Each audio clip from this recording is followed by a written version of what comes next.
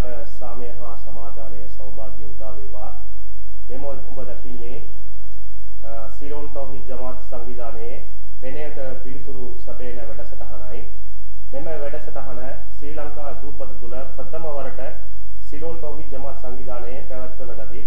මෙම වැඩසටහනේ තේමාව ඉස්ලාම් ප්‍රශ්නවාදයට එරෙහි දහමක් බව ඔබලාට දැනගැනීම පිණිසයි.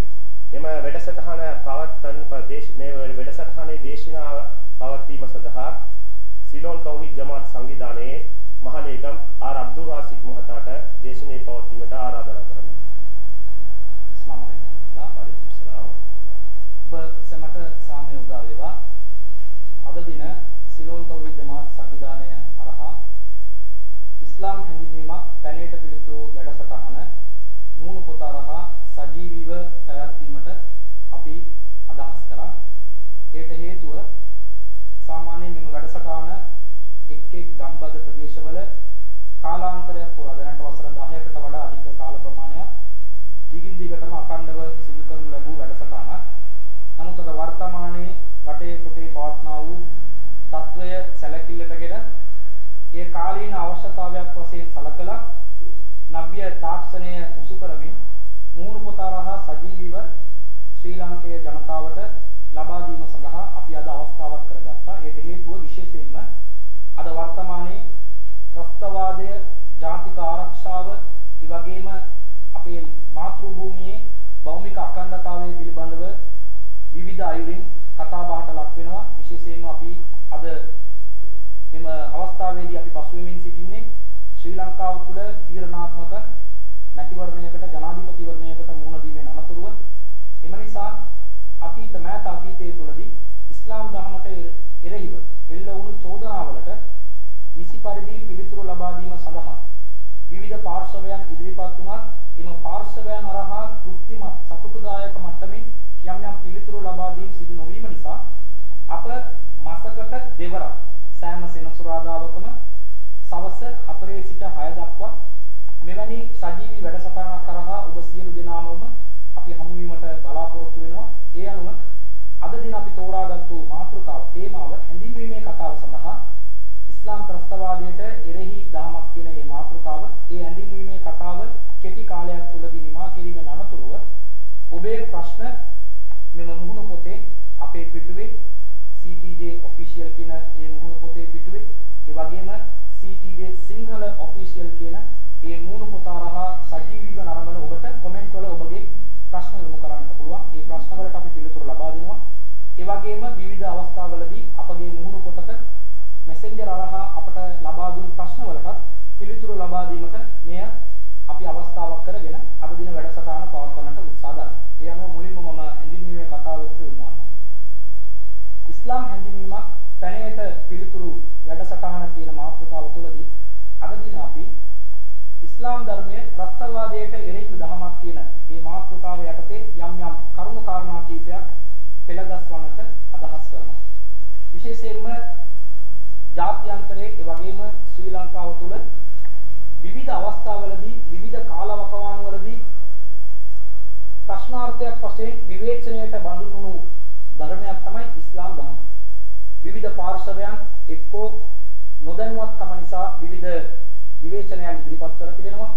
ඇතැම් අය යම් යම් ඉස්ලාම් ධර්මයේ පැවසා තිබෙනා වූ කරුණවල තිබෙනා වූ යම් යම් සාධක කීපයක් පමණක් අවධානය යොමු කිරීම තුළින් වැරදි අවබෝධයක් ලබාගෙන ඒවා ඉස්ලාම් ධර්මයේ මූලික ඉගැන්වීම් වලට ඉස්ලාම් ධර්මයේ ප්‍රායෝගික ජීවිතයට පටහැනිව තිබෙනවාද යන්න කාරණා පවා නොදැන ඒවා ඉස්ලාම් වල උගන්වා දී තිබෙන කරුණු කියලා විවේචනයට බඳුන් කර තිබෙනවා. මේවට මුස්ලිම් වරු වශයෙන් අපි පිළිතුරු ලබා දී යුතුයි.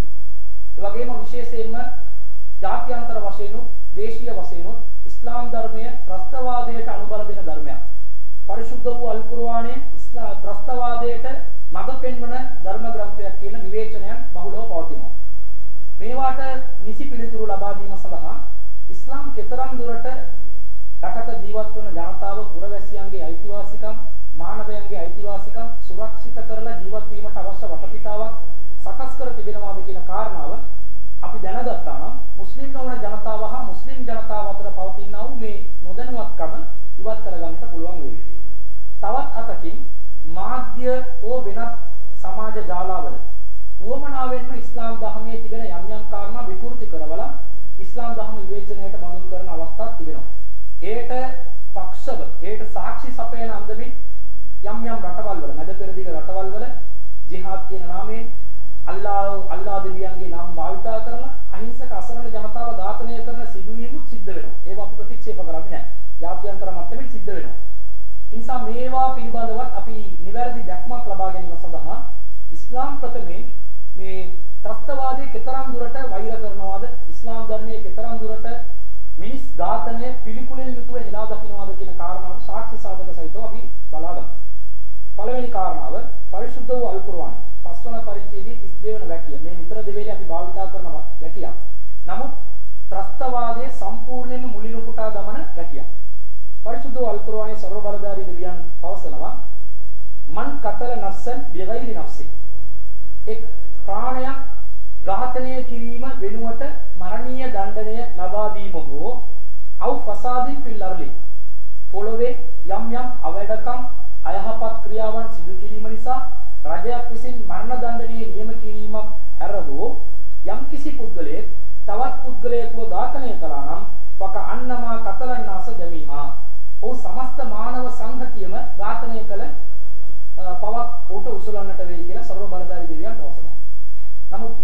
කියලා අද මුස්ලිම් නොවන ජනතාව වටහාගෙන තිබෙන්නම අල්ලාහ් තාලාගේ ਸਰව බලධාරී දෙවියන්ගේ තේජස මහිමය ඒ ගෞරවය බහුමානය මේ සියල්ලක්ම ස්ථාපිත කරවන්නට මුස්ලිම් නොවන ජනතාව ඝාතනය කරවන්න තමයි ඉස්ලාම් පොළඹවා තිබෙන්නේ කියලා. නමුත් ඒට හාත්පසින්ම වෙනස් අදහසක් තමයි මේ කුර්ආන් වැකිය ලබා දෙන්නේ. යම්කිසි පුද්ගලයෙකුගේ ජීවිතයක් ඝාතනය කළා නම් සමස්ත මානව සංහතියම ඝාතනය කළ පවක් උසුලන්නට වෙයි. රජයක් විසින් මරණීය දඬනය නියම කිරීම හැර වෙනත් කිසිදු සිවිල් පුරවැසියෙකුට සිවිල් කණ්ඩායමකට තවත් කෙනෙකුගේ ප්‍රාණය ඝාතනය කිරීමේ අයිතිවාසිකම කිසිසේත්ම ඉස්ලාම් ලබා දීලා නැහැ. එසේනම් කෙතරම් දුරට මිනිස් ජීවිතවලට සුරක්ෂිතතාවයක් ඉස්ලාම් ධර්ම ලබා දී තිබෙනවාද කියලා ඔබ මදක් සිතා බලන්න. අද වර්තමානයේ කෝටි 800කට වඩා ජීවත් වන ජනගහනයක් ලෝ පුරා සිටිනවා. ඒ මුස්ලිම් වරු හොය වේවා මුස්ලිම් නොවන ජනතාව වේවා සියලුම ජන සංයුතිය අපි අරගත්තම කෝටි 800කට වඩා වැඩි. අද වර්තමානයේ කිසිදු සාධාරණ හේතුවක් නොමැතිව රජයක් විසින් ලබා දෙන මරණීය දඬුවම නොමැතිව යම් කිසි පුද්ගලයෙක් තවත් පුද්ගලයෙකුගේ ජීවිතයක් උදුරා ගත්තා නම් පරපණ ඝාතනය කරා නම් ඒ පුද්ගලයා කෝටි 800ක් ජනතාවගේ ජීවිත විනාශ කළ අතිවිශාල පාපයක් අතිවිශාල අකුසලක් කරපු පුද්ගලයෙක් බවට පරිවර්තනය වෙනවා. එසේනම් මහ ජනතාවනි මදක් සිතා බලන්න ඉස්ලාම් වල තවත් පුද්ගලයෙකුගේ ජීවිතයක් අල්ලාහ් අතිශ්‍රේෂ්ඨයි අල්ලාහු අක්බර් කියන නමින් උදුරා ගන්නට කොහේ ඕ තැනක සඳහන් කර තිබේ. එසේ තිබුණා නම් මෙම වැකියට ඒ පරස්පර විරෝධී අර්ථයක් ගෙන දෙයි. එසේ කිසිදු තැනක සඳහන් වෙලා නැහැ. ඒ වගේම යම් කිසි කෙනෙක් හිතන්නට පුළුවන් සුද්ධ වූ කුර්ආනයේ මිනිස් ඝාතනය වැළැක්වුවා නබිනායකතුමාණන් යම් යම් අවස්ථාවලදී මිනිස් ඝාතනය සඳහා පොළඹවා තිබෙන නායකයෙක් වෙන්නට පුළුවන්. ਸਰව ඒකාධිකාරී පාලනයක් ඇති කරපු මිනිස් අයිතිවාසිකම් අට කිසිදු අයිතිවාසිකමක් ලබා දීලා මිනිසුන්ගේ සියලු නිදහස් මැඩපවත්වපු ඒකාධිපති වියරුවක් ඇති පාලකයෙක් වශයෙන් නබිනායකතුමා නම් යම් කිසි කෙනෙක් අංවඩු ගසන්නට පුළුවන්. නමුත් නබිනායකතුමාගේ ජීවිත කාලය තුල වසර 63ක් එතුමානම් ජීවත් වුණා. එතුමානම් දෙවියන් වහන්සේ විසින් දේව පණිවිඩ Tamanට ලැබුණයි කියලා කියපු 40 වන වියේ ඉඳලා 63 වන එතුමානම් අභාව ප්‍රාප්ත වුණු 63 වන විය දක්වා වසර 23ක කාලයක් ඉතා නිහතමානී තමයි ගත කළේ. එසේ එතුමාණන් මිනිසුන් ඝාතනය කරවලා අන්‍ය මිනිසුන් ඝාතනය කරවන්නට පොළඹවලා එතුමාණන් ජීවත් වී සිටියා නම් කිසිදු අවස්ථාවක ඉස්ලාම් දහම නිතරම දුරට වර්ධනයක් සිද්ධ වන්නට කිසිදු අවස්ථාවක් නැහැ. නබිනායකතුමාණන් ආරම්භ කාල වකවානුවේදී වසර 13ක් මක්කම කියන නුවර තුල ජීවත් වුණා. මක්කම කියන්නේ වෙනම රාජ්‍යයක් වශයෙන් තිබුණු දෙයක්. තිබුණු රටක්. ඒ මක්කම තුල මහජාතිය වශයෙන් කටයුතු කරේ මුස්ලිම් නොවන අය. ඒ වගේම ප්‍රතිමා වන්දනා කරුවන්. ඉස්ලාම් ධර්මයේ ප්‍රතිමා වන්දනා කරුවන්ව දුටු තැන ඝාතනය කරන්න ඔවුන්ගේ ජීවිත විනාශ කරන්න කියලා කොතනක හෝ සඳහන් කර තිබුණා නම් නබිනායකතුමාණන් ඒ අවස්ථාවේදී ඒ දේ ඉටු කරලා ඇති. නමුත් එසේ යම් කිසි දෙයක් නබිනායකතුමාණන් ඉටු කරලා තිබුණා නම් පරම පරජන අන්‍ය මිනිසුන්ගේ ජීවිත උදුරාගෙන තිබුණා නම් ඉස්ලාම් ධර්මයේ වර්ධනය වීමක් සිද්ධ වෙලා නැතුව ඇති. නමුත් නබිනායකතුමාගේ කාලේ ඒ අවුරුදු 13ක කාලයක් තුල කිසිදු එවැනි සම්ප්‍රදායක්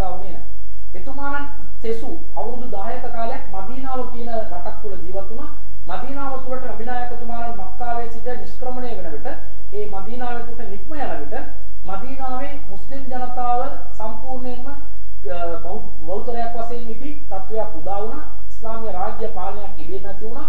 කිසිදු යුද්ධ මෙහෙයුමකින් තොරව ඒ ජනතාව රාජ්‍ය පාලන බලාධිකාරය නබිනායකතුමාණන්ට ලබා දුන්නා. ස්වේච්ඡාවෙන්ම ලබා දුන්නා. කිසිදු යුද්ධයක් ඒ අවස්ථාවේදී වාර්තා වෙලා තිබුණේ නැහැ. එවැනි අවස්ථාවක නබිනායකතුමාණන් රාජ්‍ය පාලන බලය ලබාගෙන එතුමාණන් කරපු දේ කවුරුවත් මිනිසුන්ව ඝාතනය කරන්න කියලා අනකිරීමක් කරේ නැහැ. නබිනායකතුමාණන්ගේ ඒ නිෂ්ක්‍රමණය වෙන අවස්ථාවේදී 300කට ආසන්න සංඛ්‍යාවක් තමයි මදීනාව කියන ඒ රට තුල රට තුල ජීවත් වුණේ. නබිනායකතුමාණන් මදීනාවේ ඉඳලා පළවෙනි යුද්ධය මුස්ලිම් නොවන අය සමග සිද්ධ වුණා. ඉජිරි වර්ෂ දෙවන වර්ෂයේදී ඒ කියන්නේ නබිනායකතුමාණන්ගේ ඒ නිෂ්ක්‍රමණයෙන් අවුරුදු දෙකකට පස්සේ ඒ අවස්ථාවේදී ඉතාමත් සුළු පිරිසක් තමයි හිටියේ. නමුත් කිසිදු අවස්ථාවක මුස්ලිම් නොවන අය ඝාතනය කිරීම තුලින් ජන සංඛ්‍යාව වර්ධනය කරන්න කියලා නබිනායකතුමාණන් මඟ පෙන්වීමක් කරේ නැහැ. මිනිස්සු ඉබේම වටහා ගත්තා. ඉස්ලාම් ධර්මයේ සත්‍යතාවය, එහි සාධාරණත්වය, එහි මානවිකතාවාදය සියල්ලක්ම වටහාගෙන තමයි ඉස්ලාම් ධර්ම තුළට මුස්ලිම් නොවන ජනතාව කණ්ඩායම් වශයෙන් පිවිසෙන්නට පටන් ගත්තා. අවසානයේදී ඒ අවුරුදු 10ක කාලයක් තුළ ඉදිරි වර්ෂ 8 වන ඒ වසරේදී නබිනායකතුමාණන් නැවත තමන්ගේ මක්කම කියන ඒ රට ජයග්‍රහණය කරනවා කිසිදු යුද්ධයකින් තොරව සම්පූර්ණ බලාධිකාරී නැවතත් මක්කම මක්කමයේ කියන රටේ නබිනායකතුමාණන්ට ලැබෙනවා ඒ අවස්ථාවේදී ලක්ෂ සංඛ්‍යාත ජනකායක් ඉස්ලාම් ධර්ම ස්වේච්ඡාවෙන් කිසිදු බලකිරීමකින් තොරව නබිනායකතුමාණන් පැවසුවා ලා ඉක්රා ෆිද්දීන් මෙම ධර්මයේ කිසිදු බලකිරීමක් නැතයි කියන දේව වාක්‍ය පවසාගෙන තමයි මේ මක්කා ජයග්‍රහණය සිද්ධ වුණේ සියලුම ජනතාව ඉස්ලාම් ධර්ම වෙත කණ්ඩායම් වශයෙන් යොමු වුණා. නබිනායකතුමාණන් අවසාන කාලයේදී ලක්ෂ සංඛ්‍යාත ජනතාවකට ධර්ම දූතයෙක් වශයෙන් වක්තෘවරයෙක් වශයෙන් සිටියේදී තමයි අභා ප්‍රාප්ත වුණේ. අන්‍ය මිනිසුන් ඝාතනය කිරීමක් සිද්ධ වුණා නම් ඉස්ලාම් ධර්ම වැළඳ ගන්නටත් මිනිසුන් නැති වෙලා ඇති. ඒ වගේම ඉස්ලාම් ධර්මයේ මෙතරම් ක්‍රූර, අමානුෂික, මානව හිතවාදයෙන් තොර දහමක් වශයෙන් එකලා පැවතුණා නම් කිසිදු මුස්ලිම් නොවන ජාතිකයෙක් ඉස්ලාම් ධර්ම වැළඳගෙන නැතුව ඇති. මේ තර්කානුකූලව අපට වටහා ගත හැකි සිද්ධි. ඒ වගේම නබිනායකතුමාණන් පවසා තිබෙනවා අල් මුක්මිනු මන් අමිනහුන්නාස් අලා අම්බාලිහිම් ව අන්ෆුසිහිම් එක් සැබෑ දේව විශ්වාසිකයෙක් වන්නේ දෙවියන්ව විශ්වාස කරපු පුද්ගලයෙක් නම් අල්ලා දෙවියන්ව ලෝකේ අවසාන දිනය ඒ වගේම ධර්ම ග්‍රන්ථ නබිනායකතුමාණන් වැනි ඒ නබිනායකතුමාණන්ගේ අවසාන වක්තෘභාවය ඒ සියල්ලක්ම විශ්වාස කරන පුද්ගලයෙක් නම් ඔහු තවත් පුද්ගලයෙකුගේ ජීවිත හා දේපල ආරක්ෂා කළ යුතුයි කියලා නබිනායකතුමාණන් පවසා තිබෙනවා.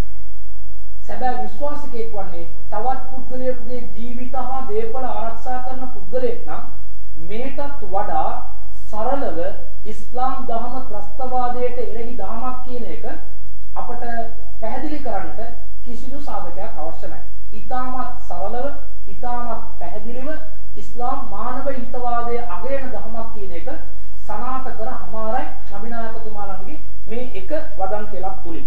ඒ වගේම නබිනායකතුමාණන් පවසා තිබෙන්නේ සියලු ජාතීන්ගේ කවර ජාතියෙක හෝ වේවා සියලු ජාතීන්ගේ ප්‍රාණයන් පුණ්‍ය කොට සැලකිය යුතුයි. නබිනායකතුමාණන්ගේ අවසාන දේශනාව සිද්ධ වුණේ ඒ මදීනාවේ අවසාන අජ්ජතුල් වදා කියලා එම දේශනාව ඉස්ලාමීය ඉතිහාසය තුළ සඳහන් වනවා. එම අජ්ජතුල් වදා කියන අවසාන හජ් දේශනාවේදී නබිනායකතුමාණන් පවසා සිටනවා අලා සියලු දෙනාම දැනගන්න. ෆයින්න දිමාකුම් ව අම්බාලකුම් ව අරාලකුම් අලයිකුම් හරාමුන්. ඔබ සියලු දෙනාගේ ජීවිත දේපල හා ගෞරවය එකිනෙකාට පුණ්‍ය කොට සැලකිය යුතුයි. ඒවා විනාශ කිරීම, කෙලසීම හරාම් තහනම් කියලා නබිනායකතුමාණන් පවසා තිබෙනවා. මෙයයි ඉස්ලාම් දහම අපට උගන්වා දෙන මානව හිතවාදය. මෙතරම් දුරට මිනිස්යන්ගේ ජීවිතවලට ගෞරවය කරලා ඔවුන්ගේ දේපල ආරක්ෂා කරගෙන ඔවුන්ගේ සියලු ගෞරව බහුමානයන් ආරක්ෂා කරගෙන ජීවත් වන්නට මඟ පෙන්වපු දහමක කිසිසේත්ම ත්‍රස්තවාදයට මුල පුරන්නට කොහෙවත් කියලා නැහැ. නමුත් අපි දකිනවා ප්‍රායෝගික ලෝකේ ඇතමුන් අවි අමෝරාගෙන ජිහාද් නාමයෙන් ඉස්ලාමීය රාජ්‍යයේ නාමයෙන් මුස්ලිම් නොවන ජනතාව සිය දේශපාලන පටු අරමුණ මුදුන් පමුණවා ගැනීම සඳහා විවිධ සටන්වල ක්‍රියාත්මක වන යුද්ධවල නියැලෙනවයි කියන ඒ කාරණාව ප්‍රායෝගිකව දකිනවා. නමුත් මදක් සිතා බලන්න මේ සියල්ලක්ම මැද පෙරදිග රටවල් වල සිද්ධ වෙන්නා වූ දේශපාලන බල අරගල මිස මේවට ඉස්ලාම් ධර්මයේ කිසිදු සාක්ෂියක් නැහැ. ඇතැම් වැකි නබිනායකතුමාණන්ට යුද පිටිවල පහළ වී තිබෙනවා. ඒ යුද පිටිවල මුස්ලිම් නොවන ජනතාව ඉස්ලාමයට විරුද්ධව සටන් කරන්නට ආවනම් මුස්ලිම් මුස්ලිම් ජනතාවගේ ඒ යා ඒ යා පාලනය තුල මුස්ලිම් නොවන ජනතාව පුරවැසිභාවය ආරක්ෂා කරගෙන ඔවුන්ගේ ජීවිත ආරක්ෂා කරගෙන ඔවුන්ගේ දේපල ආරක්ෂා කිරීම වෙනුවෙන් ඉස්ලාමීය රටක් වශයෙන් ආණ්ඩුවක් වශයෙන් හමුදා බලය යොදාගෙන ඒ ආක්‍රමණකාරී බලවේගවලට එරෙහිව කටයුතු කරන්නට පනවපු නියෝග කීපයක් කුර්ආන් තුල අරගෙන ඒ කුර්ආන් වැකි පෙන්නලා ඉස්ලාම් ත්‍රස්තවාදයට පොළඹවනවායි කියලා කවුරු හරි කෙනෙක් කියනවා නම් ඒ ඒ පුද්ගලයාගේ නොදැනුවත්කම. නැත්නම් බුද්ධිහීන භාවය. නැත්නම් අමනෝඥකම. නැත්නම් උවමනාවෙන්ම ඉස්ලාම් ධර්මයේ විකෘති කරවලා ඉස්ලාම් ධර්ම මනුෂ්‍ය මානවිකවාදයෙන් තොර ධර්මයක් වශයෙන් අංගොඩු ගැසීමට කරන වෑයමක් මිස ඉස්ලාම් තුල එවැනි කිසිදු මඟ පෙන්වීමක් නැත්තටම නැත්තටම නැහැ. මේ ඊටාම අභියෝගාත්මක ප්‍රකාශයක්. අපි ඕනෑම පුද්ගලයෙකු සමග මේ පිළිබඳව විවෘතව සංවාද කරන්නට සූදානම්. ඊතරම් දුරට ඉස්ලාම් මානවිකවාදයේ අගයක් තිබෙනවායි කියන කාරණාව මෙම අවස්ථාවේදී අපි පැහැදිලි කරනවා.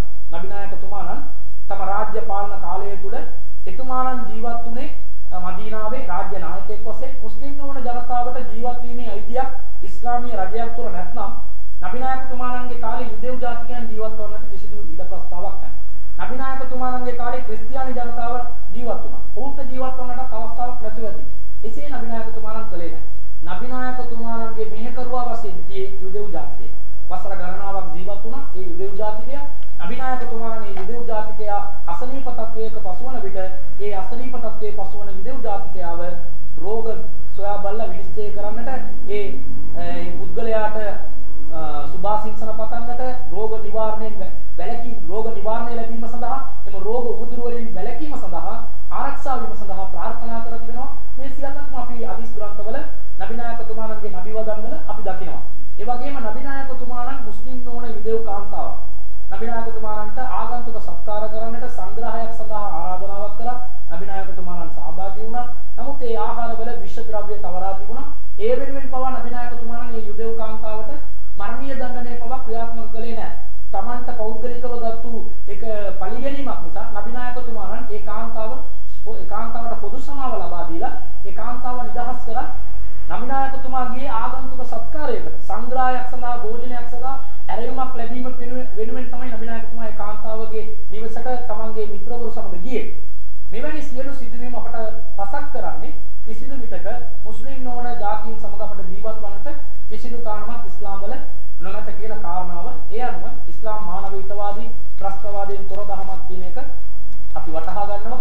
ඒ අපේ විශ්වාසයයි මෙය දැන් මේ ඇතිවේ තිබෙනා වූ දේශපාලනයේ වෙනස්කම් නිසා වූ නැත්නම් මේ පාස්කු ප්‍රහාරයෙන් මුස්ලිම් ජනතාවට ඇති වුණු ඒ කීර්ති නාමයට කෙලසි කීර්ති නාමයේ ඇති වුණු ඒ අයාපත් తත්වය නැවත සකස් කර ගැනීම සඳහා අපි ප්‍රකාශ කරන ප්‍රකාශ නෙමෙයි. මේවා සුද්ධ වූ කුර්ආනයේ සාක්ෂි සාධක සහිතව සඳහන් දේවල් නබිනායකතුමාණන්ගේ මඟ පෙන්වීම වල සාක්ෂි සාධක සහිතව සඳහන් දේවල් එම නිසා තවත් අනේක විද සාක්ෂි අපසතුව තිබෙනවා. නමුත් ඒවා අපි මේ කෙටි හැඳින්වීම තුළ ඒ සියල්ල අපිට ප්‍රකාශ කරන්නට බෑ. යම් කිසි කෙනෙක් ප්‍රශ්නයක් වශයෙන් ඒවා යොමු කරනවා නම් ඒ සියල්ලට අපි පිළිතුරු ලබා දෙන්නට සූදානම්. ඔබේ ප්‍රශ්න කොමෙන්ට් වලින් ඉදිරිපත් කරන්නට පුළුවන්. සෑම මාසකම දෙවතාවක් සෙනසුරාදා දවස්වල අපේ මූණු පොතේ විනය අපි සඳහන් කරනවා. විශේෂයෙන්ම අපි වඩාත්ම ප්‍රිය කරන්නේ පළවෙනි සෙනසුරාදා හා තුන්වන සෙනසුරාදා මෙම වැඩසටහන පැවැත්වීමට. නමුත් මේ පිළිබඳව යම් යම් වෙනස්කම් සිද්ධ වුණොත් ඒවත් අපි පැහැදිලි කරන්නට සූදානම්. ඔබේ ප්‍රශ්න අපට යොමු කරන්න. අපේ මූණු පොතේ සජීවී වැඩසටහන යන අතරතුරදී යොමු කරන්නට පුළුවන්. නැත්නම් අපේ මෙසෙන්ජර් හරහා කමෙන්ට් කරන්නට පුළුවන්. ඒ ප්‍රශ්න යොමු කරන්නට පුළුවන්. අපි ඒවාට පිළිතුරු සාක්ෂි සාධක සහිතව සිනාමුසු මූණකින් ඔබත් සමග ඉතාමත් සුහදව ඒවා ලබා ගැනීමට අදහස් උමාරු කර ගැනීමට සූදානම්ින් මේ වැඩසටහන අපි අද දින ආරම්භ කරමු. ඔබ දැන් මේ මුහුණු පොත හරහා සජීවී පැවැත්වෙන මේ වැඩසටහනේ අපේ මේ වැඩසටහනට සම්බන්ධ වීමට දුරකථන අංකයක් ඔබලාට ලබා දීලා තියෙනවා. එම ලබා දුන් දුරකථන අංකයට ඔබට සජීවීව ඔබගේ ප්‍රශ්නය අසන්නට ඔබට පහසුකම් සලසා තිබෙනවා. එනම් ඔබලාට ප්‍රශ්න තියෙනවා නම් ආර් අබ්දුල් රාසික් මහත්මයාට ඔබ ප්‍රශ්න යොමු කරලා ඔබලාට පැහැදිලි කරගැනීමට අවස්ථාවයි මෙය. අබ්දුරාසීක් මහත්මයා ඔබ මේ ඔබගේ දේශනාවේ ත්‍රස්තවාදය ගැන යම්කිසි උපුටා දක්වීමක් කළා. නමුත් මේ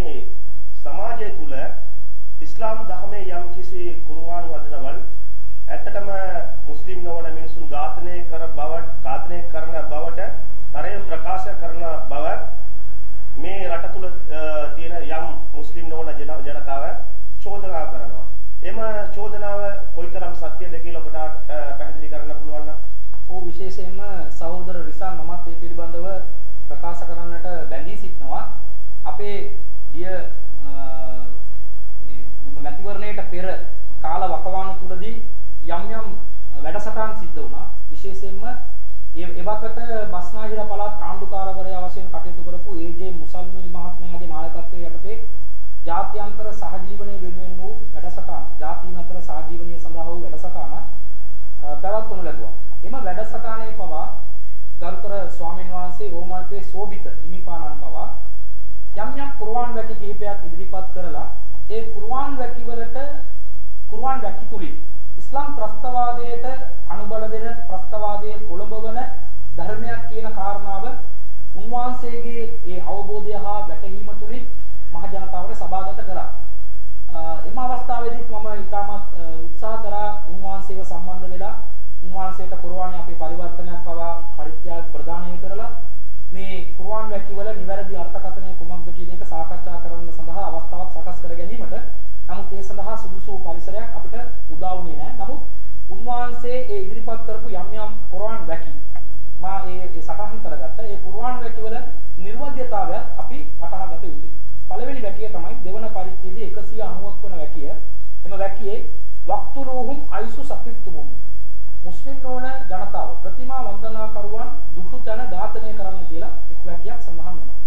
මෙම වැකිය උපුටා දක්වලා මුස්ලිම් නොවන ප්‍රතිමා වන්දනාකරුවන් සමග මුස්ලිම් ජනතාව සම්පූර්ණයෙන්ම යුද මානසිකත්වයකින් කටයුතු කළ යුතු මට්ටමක් තිබෙනවායි කියලා උන්වහන්සේත් ඒ වගේම මුස්ලිම් නොවන ජනතාව තුළ මේ වැකිය අධ්‍යයනය කරනකොට යම්කිසි අදහසක් මනසට එන්නට පුළුවන්. නමුත් සත්‍ය වශයෙන්ම අපි මෙහිදී ඉස්ලාම් දහම මෙතරම් දුරට කඩුවෙන් හෝ අසිපතෙන් විහිදුණු ධර්මයක් වශයෙන් ඉස්ලාම් ධර්මය යම් කිසි කෙනෙක් ප්‍රකාශ කරනවා නම් අද වර්තමානයේ වනතුරු ඉස්ලාම් ධර්මයේ මෙතරම් දුරට වර්ධනය වන්නට අවස්ථාවක් නැහැ. අද පියු ආයතනය ඇමරිකාවේ ජනගහනය සංයුතිය අනුව ආගමික වර්ධන වේගය පිළිබඳව මිනුම් දඬු ඒ වගේම සංඛ්‍යා ලේඛන ඉදිරිපත් කරන පියු ආයතනය අද වර්තමානයේ පවා පවසන්නේ ඊටමත් වේගයෙන් දෛනිකව ඊටමත් වේගයෙන් සියලු ජාතීන් අතර සසඳනකොට ඊටමත් වේගෙන් වර්ධනය වන ධර්ම ඉස්ලාම් ධර්ම. වැඩිපුරම අනුගමනයට ලක්වන ධර්ම ඉස්ලාම් ධර්ම කියලා සඳහන් කරනවා. මුස්ලිම් නොවන ජනතාවගේ ජීවිත උදුරා ගැනීම ඉස්ලාම් ධර්මයේ මූලික හරයක් නම් ඒව ඒ දේව නියමයක් නම් ඒ දේව විධානයක් නම් මෙතරම් දුරට වේගවත් වර්ධනයක් ඉස්ලාම් ධර්ම තුල දකින්නට බෑ. එසේනම් මෙම වැකිය පවසන්නේ කුමක්ද? මා කලින් පැවසුවා. නබිනායකතුමාණන් ජීවත් වුණේ මුල් කාලීනව මුස්ලිම් නොවන ජනතාව බෞද්ධ ජනතාව වශයෙන් ජීවත් වුණු කාලයක් තුල මහජාතිය වශයෙන් අභිනායකතුමාණන්ගේ පළවෙනි ඒ වක්තෘභාවයේ ජීවත් වුණු වසර 23ක කාලයක් තුල පළවෙනි වසර 13ක් ජීවත් වුණේ මක්කාව කියන මුස්ලිම් නොවන ජනතාවගේ ආණ්ඩුවක් පාලනයක් බලාධිකාරියක් පැවති රටක් තුල. ඒ අවස්ථාවේදී නබිනායකතුමාණන් මුස්ලිම් නොවන ජනතාව ඝාතනය කරන්න කියලා සුළු පිරිසක් ඉඳගෙන අබි අමෝරාගෙන එම රජයට විරුද්ධව කටයුතු කළේ නැහැ. කිසිදු අවස්ථාවක. ඇතැම් අවස්ථාවලදී මුස්ලිම් නොවන ජනතාවගෙන් වද හිංසාවලට ලක්වුණු ඒ නබිනායකතුමාණන්ගේ අනුගාමිකයන් මුළු කාලීන අනුගාමිකයන් නබිනායකතුමාණන්ගෙන් අවසර පවා පැතුවා. අපට පෙරලා පහර දෙන්න අවස්ථාව දෙන්න. අපට ජීවන අයිතිය නැහැ. අපට ආර්ථික ආර්ථිකයේ භුක්ති විඳින ආර්ථික සම්බාධක පනවල අප ගොඩක් අඩන් තෙට්ටම් වලට අපි ලක් වෙනවා. ඒ වගේම අපට නිදහසේ සැරිසරන්නට බෑ. අපි දුටු තැන වද හිංසාවට ලක්වන නිසා අපගේ ජීවිත ආරක්ෂා කරගන්නට ආත්ම ආරක්ෂාව වෙනුවෙන් ඕ පෙරලා පහර දීමට අපට අවස්ථාව ලබා දෙන්න කියලා. නමුත් නබිනායකතුමාණන් එවැනි අවසරයක් ලබා දුන්නේ නැහැ. ඉන්නකුම් කවමුන් තස්තාජිලුන්. නුඹලා කලබලයට පත්වන හදිසි වන ජන සමාජයක් කියලා නබිනායකතුමාණන් ඒ ඉල්ලීම ඉදිරිපත් කරපු නබි මිත්‍රවරුන්ට පෙරලා දෝෂාරෝපණය කරා. එවැනි තත්වයක් ඇති කරන්නට එපා. ඉස්ලාම් එවැනි මට්ටමක ඉස්ලාම් එවැනි මානසිකත්වයක් වර්ධනය කරන්නේ නැහැ. මෙම වැකි සියල්ලක්ම මේ ඉදිරිපත් කරන වැකි සියල්ලක්ම මදීනාව කියන ඒ ඉස්ලාමීය රාජ්‍යයක් තුල ඉස්ලාමීය නිල හමුදාවකට පනවපු විධාන විධිවිධාන නියෝග. ඒ නියෝග අරගෙන අපට නිගමනයකට එන්නට බෑ. මුස්ලිම් නොවන ජනතාව සියලුම අවස්ථාවලදී ඝාතනය කරන්න ඕන කියලා. ඉස්ලාමීය රාජ්‍යයක් තුල පවා නබිනාගතුමාගේ වතුරුභාවයෙන් 23 වන අවුරුදු 23ක කාලයක් තුල පසු පාගේ ඒ අවුරුදු 10ක කාලයක් ඉස්ලාමීය පාලනයක් තුල ජීවත් වුණා. ඒ අවස්ථාවේදී නබිනායකතුමාගේ කාලෙම ජනතාවගේ දේවස්ථාන තිබුණා. මුස්ලිම් නොවන ජනතාව හිටියා. යුදෙව්වරු, ක්‍රිස්තියානිවරු ප්‍රතිනව වන්දනා කරු. සියල්ලෝම හිටියා. එම මදීනාව මදීනා නබි නායකතුමාගේ පාලනය යටතේ. කිසි විටක ඔවුන්ව ඝාතනය කරන්න නබි නායකතුමා අනකලේ නැහැ. මෙම වැකියේ සන්දර්භය මොකක්ද කියන එක අපි දුටුවා නම් ඒ මුස්ලිම් නොවන ජනතාව ඝාතනය කිරීමක් වෙනුවෙන් පොළඹවන දෙයක් කියන එක නෙවෙයි කියන එක සාමාන්‍යයෙන් සරලව වටහා ගන්නට පුළුවන්. 191 වන වැකිය තමයි ඔවුන් දුටු තැන ඝාතනය කරන්න කියලා සඳහන් වන්නේ. 190 වන වැකිය සඳහන් කරන්නේ කුමක්ද? වකාතිලු ෆී සබීලිල්ලා. අල්ලාහගේ මාර්ගයේ යුද්ධ කරන්න අල්ලදීන යුකාතිලුන. නුඹලා සමග සටන් කිරීමට පැමිණි අය සමග. අප සමග සටන් කිරීමට යම්කිසි පිරිසක් අපි අමෝරාගෙන රටක් රාජ්‍යයක් සිටිනකොට පැමිණෙනවා නම් ඒ පුද්ගලයන්ට ඒ ත්‍රස්තවාදීන්ට විරුද්ධව රජයක් යුද්ධයේ ප්‍රකාශයට පත් කළ යුතුයි. රටේ ත්‍රස්තවාදයක් කවුරු හරි ඇති කරනවා නම් ඒ ත්‍රස්තවාදයට විරුද්ධව රටේ සේනාධි නායකයා වශයෙන් අතිගරු ජනාධිපතිතුමා කවුරුන් හෝ වේවා එම අවස්ථාවේදී යුද්ධ ප්‍රකාශයට පත් කරන්න ඕනේ. මේ රට තුළ ත්‍රස්තවාදයක් ඇති කරන්න කිසි පුද්ගලයෙකුට අයිතියක් නැහැ. නබි නායකතුමාගේ ඉස්ලාමීය පාලන කාලය තුළ ඒ රජයට විරුද්ධව අවි අමෝරාගෙන යම්කිසි පිරිසක් කැරලිකරුවන් පිරිසක් එනකොට ඒ පුද්ගලයන්ට විරුද්ධව සටන් කරන්න කියලා ඉස්ලාම් ධර්මයේ නියම කරපු දෙයක් මිස මුස්ලිම් නොවන ජනතාව ඝාතනය කරන්න කියලා පොදුවේ දරපු විධානයක් නොවේ. මෙතන පැහැදිලිව සඳහන් වුණා වැකියේ තවදුරටත් වලා තාතදු ඔබ සීමාව ඉක්මවන්නට එපා. ඔබ සමග යුද්ධයට පැමිණි අය සමග පමණයි ඔබ යුද්ධ කළ යුත්තේ. වෙනත් අය සමග නොවේ. ඒ සීමාව ආරක්ෂා කරගන්න. ඉන්නල්ලාහ අලා යුහිබ්බුල් මුඅතදීන්. සීමාව ඉක්මවන පිරිස අල්ලා කිසිසේත්ම ප්‍රිය කරන්නේ නැත කියලා මෙම සුද්ධ වූ වැකිය පවසනවා. ඒ වගේම තවත් වැකියක් උන්වහන්සේ ඉදිරිපත් කරා නවවන පරිච්ඡේදයේ පස්වන වැකිය. ෆයිදන් සලහල් අෂ්හුරුල් හුරුම්. ඔවුන් පුණ්‍ය වූ මාස ඔවුන් ඉක්මවා යන විට ෆක්තුල් මුෂ්රිකීන හයිසු වජත්තුමු. මුස්ලිම් නොවන ජනතාව දේව ප්‍රතිමා වන්දනා කරවන්ව දුටු තැන ඝාතනය කරන්න කියලා කුර්ආන් වැකියක් ඉදිරිපත් කරා. මෙම වැකිය පවා ඒ මුස්ලිම් නොවන ජනතාව මක්කාවේ හෝ මදීනාවේ හෝ ඔවුන් සටනකට එනවා නම් සුද්ධ වූ මාසයන් කියලා මාස හතරක් තිබුණා අරාබි ජාතිකයන් අතර. ඒ මාසවල ඔවුන් කවදාවත් යුද්ධ කරන්නේ නැහැ. නමුත් ඒ කාලේ නබිනායකතුමාට විරුද්ධව යුද්ධ කරන්නට ආපු අය සුද්ධ වූ මාසවල යුද්ධ කිරීම තහනම් කියන ඒ පොදු එකඟතාවය. බිඳ කඩා බිඳ ගමමින් ඉස්ලාම් මුස්ලිම් වරුන්ට විරුද්ධව යුද්ධ කරන්නට ආවා. නමුත් ඒ අවස්ථාවේදී මුස්ලිම් ජනතාවට පනවපු නියෝගය තමයි සුද්ධ වූ මාස හතර තුල යුද්ධ කිරීම ප්‍රකාශයට කරන්න ප්‍රකාශයටපත් කරන්න එපා. ඉන් පසුව කවුරු හරි පුද්ගලයෙක් එනවා නම් යුද්ධ කරන්න, ඔවුන් සමග යුද්ධ කරන්න කියලා මෙතරත් මානව හිතවාදය හා එකල ජනතාව අතර තිබුණු මේ පොදු එකඟතාවය ආරක්ෂා කරපු වැකියක් තමයි. එම වැකියේ පවා නවවෙනි පරිච්ඡේදයේ අතරවන වැකිය. සන්දර්භය ඔබ බැලුවා නම් එතන පැහැදිලිව පවසනවා ඉන් ඉල්ලල්ලදීන ආහත්තුම් මිනල් මුෂරිකීන්. ඔබ සමග යම්කිසි මුස්ලිම් නොවන ප්‍රතිමා වන්දනා කරවන්න givisුමක් ඇති කරගෙන තිබෙනවා නම් අවබෝධතා givisුමක් රජයත් සමග මුස්ලිම් නොවන ජනතාව ඇති කරගෙන තිබෙනවා නම් ඒ පුද්ගලයන් සමග ඔබ යුද්ධ නොකළ යුතුයි. ඒ වගේම සුම්මලම් යන්කුසුකුම් සයින් එම givisුම කිසිසේත්ම කිසිදු අඟහිඟතාවයකින් තොරව ඒ givisුම ආරක්ෂා කරගෙන තිබෙනවා නම් ඔවුන් සමග යුද්ධ නොකළ යුතුයි. වලම් යුබාහිරු අලයිකුම් අහදන්. ඔබට විරුද්ධව තවත් පාර්ශවයන්ට කූට ලෙස කුමන්ත්‍රණකාරී ලෙස උදව් උපකාර නොකර ඔවුන් givisුම ආරක්ෂා කරගෙන සිටනවා නම් ඔවුන් සමග යුද්ධ කරන්න එපා කියලා තමයි අල්ලාහ් තාලා පවසන්නේ. ෆාතිමු ඉලයිහිම් අහදහුම් ඉලා මුද්දතිහිම් ඔවුන්ගේ givisුම අවසානයේ දක්වා ආරක්ෂා කරන්න කියලා අල්ලාහ් තාලා පවසනවා. ඒ වගේම නවවෙනි පරිච්ඡේදයේ අයවන වැක්කේ ඊටා පැහැදිලිව සඳහන් වෙනවා වයින් අහදුම් මිනල් මුෂ්රිකීන් ඉස්තජාරක මෙසේ මුස්ලිම් නොවන ජනතාව අතර ඒ givisුම ආරක්ෂා කරපු පුද්ගලයන්ගෙන් තොරව වෙනත් පුද්ගලයෙක් සීමාව ඉක්මවමින් ඔබත් සමග යුද්ධයට පැමිණියත් ඔහුට තවදුරටත් යුද්ධය කිරීමට හැකියාවක් නොමැතිව ඔබ වෙත සරණ පතනවා නම් ආරක්ෂාව පතනවා නම් Tamanව ආරක්ෂිත ස්ථානයකට යොමු කරන්න කියලා ඉල්ලීමක් කරනවා නම් ෆජිරුහු අත්තා යස්මා කලාමල්ලාහි සුම්ම අබ්ලිහු මමනා ඒ පුද්ගලයාට දේව වැකි ශ්‍රවණය කරවන්න. ඉස්ලාම් මානව හිතවාදයෙන් තොර ධර්මයක් නෙවෙයි. ඉස්ලාම් ආක්‍රමණකාරී ධර්මයක් නෙවෙයි. ඉස්ලාම් මානව දයාව ආරක්ෂා කරන ධර්මයක් කියන ඒ කරුණු කාරණා ඒ පුද්ගලයාගේ සවන් වලට ඇසෙන පරිදි අවස්ථාව වටපිටාව සකස් කරන්න සුම්ම අබ්ලිහු මමනා පසුව ඔහුගේ සුරක්ෂිත අභය ස්ථානයට ඔහුව යොමු කරන්න කියලා පරිශුද්ධ වල් කුරානේ පවසා තිබෙනවා. මීට වඩා මානව හිතවාදයක් තියෙන්නේ කොහෙද? යුද්ධ පිටියකට පැමිණි පුද්ගලයෙක් පවා යුද්ධයට පැමිණ යුද්ධයෙන් බලහීන වී දුර්වල වී යටහත් වන්නට ආවනම් ඒ පුද්ගලයාගේ ජීවිත ආරක්ෂා කරන්න කියලා ඉස්ලාම් පවසනවා නම් මුස්ලිම් නුවණ ජනතාව ඝාතනය කරන්න කියලා ඉස්ලාම් පවසලා නැහැ.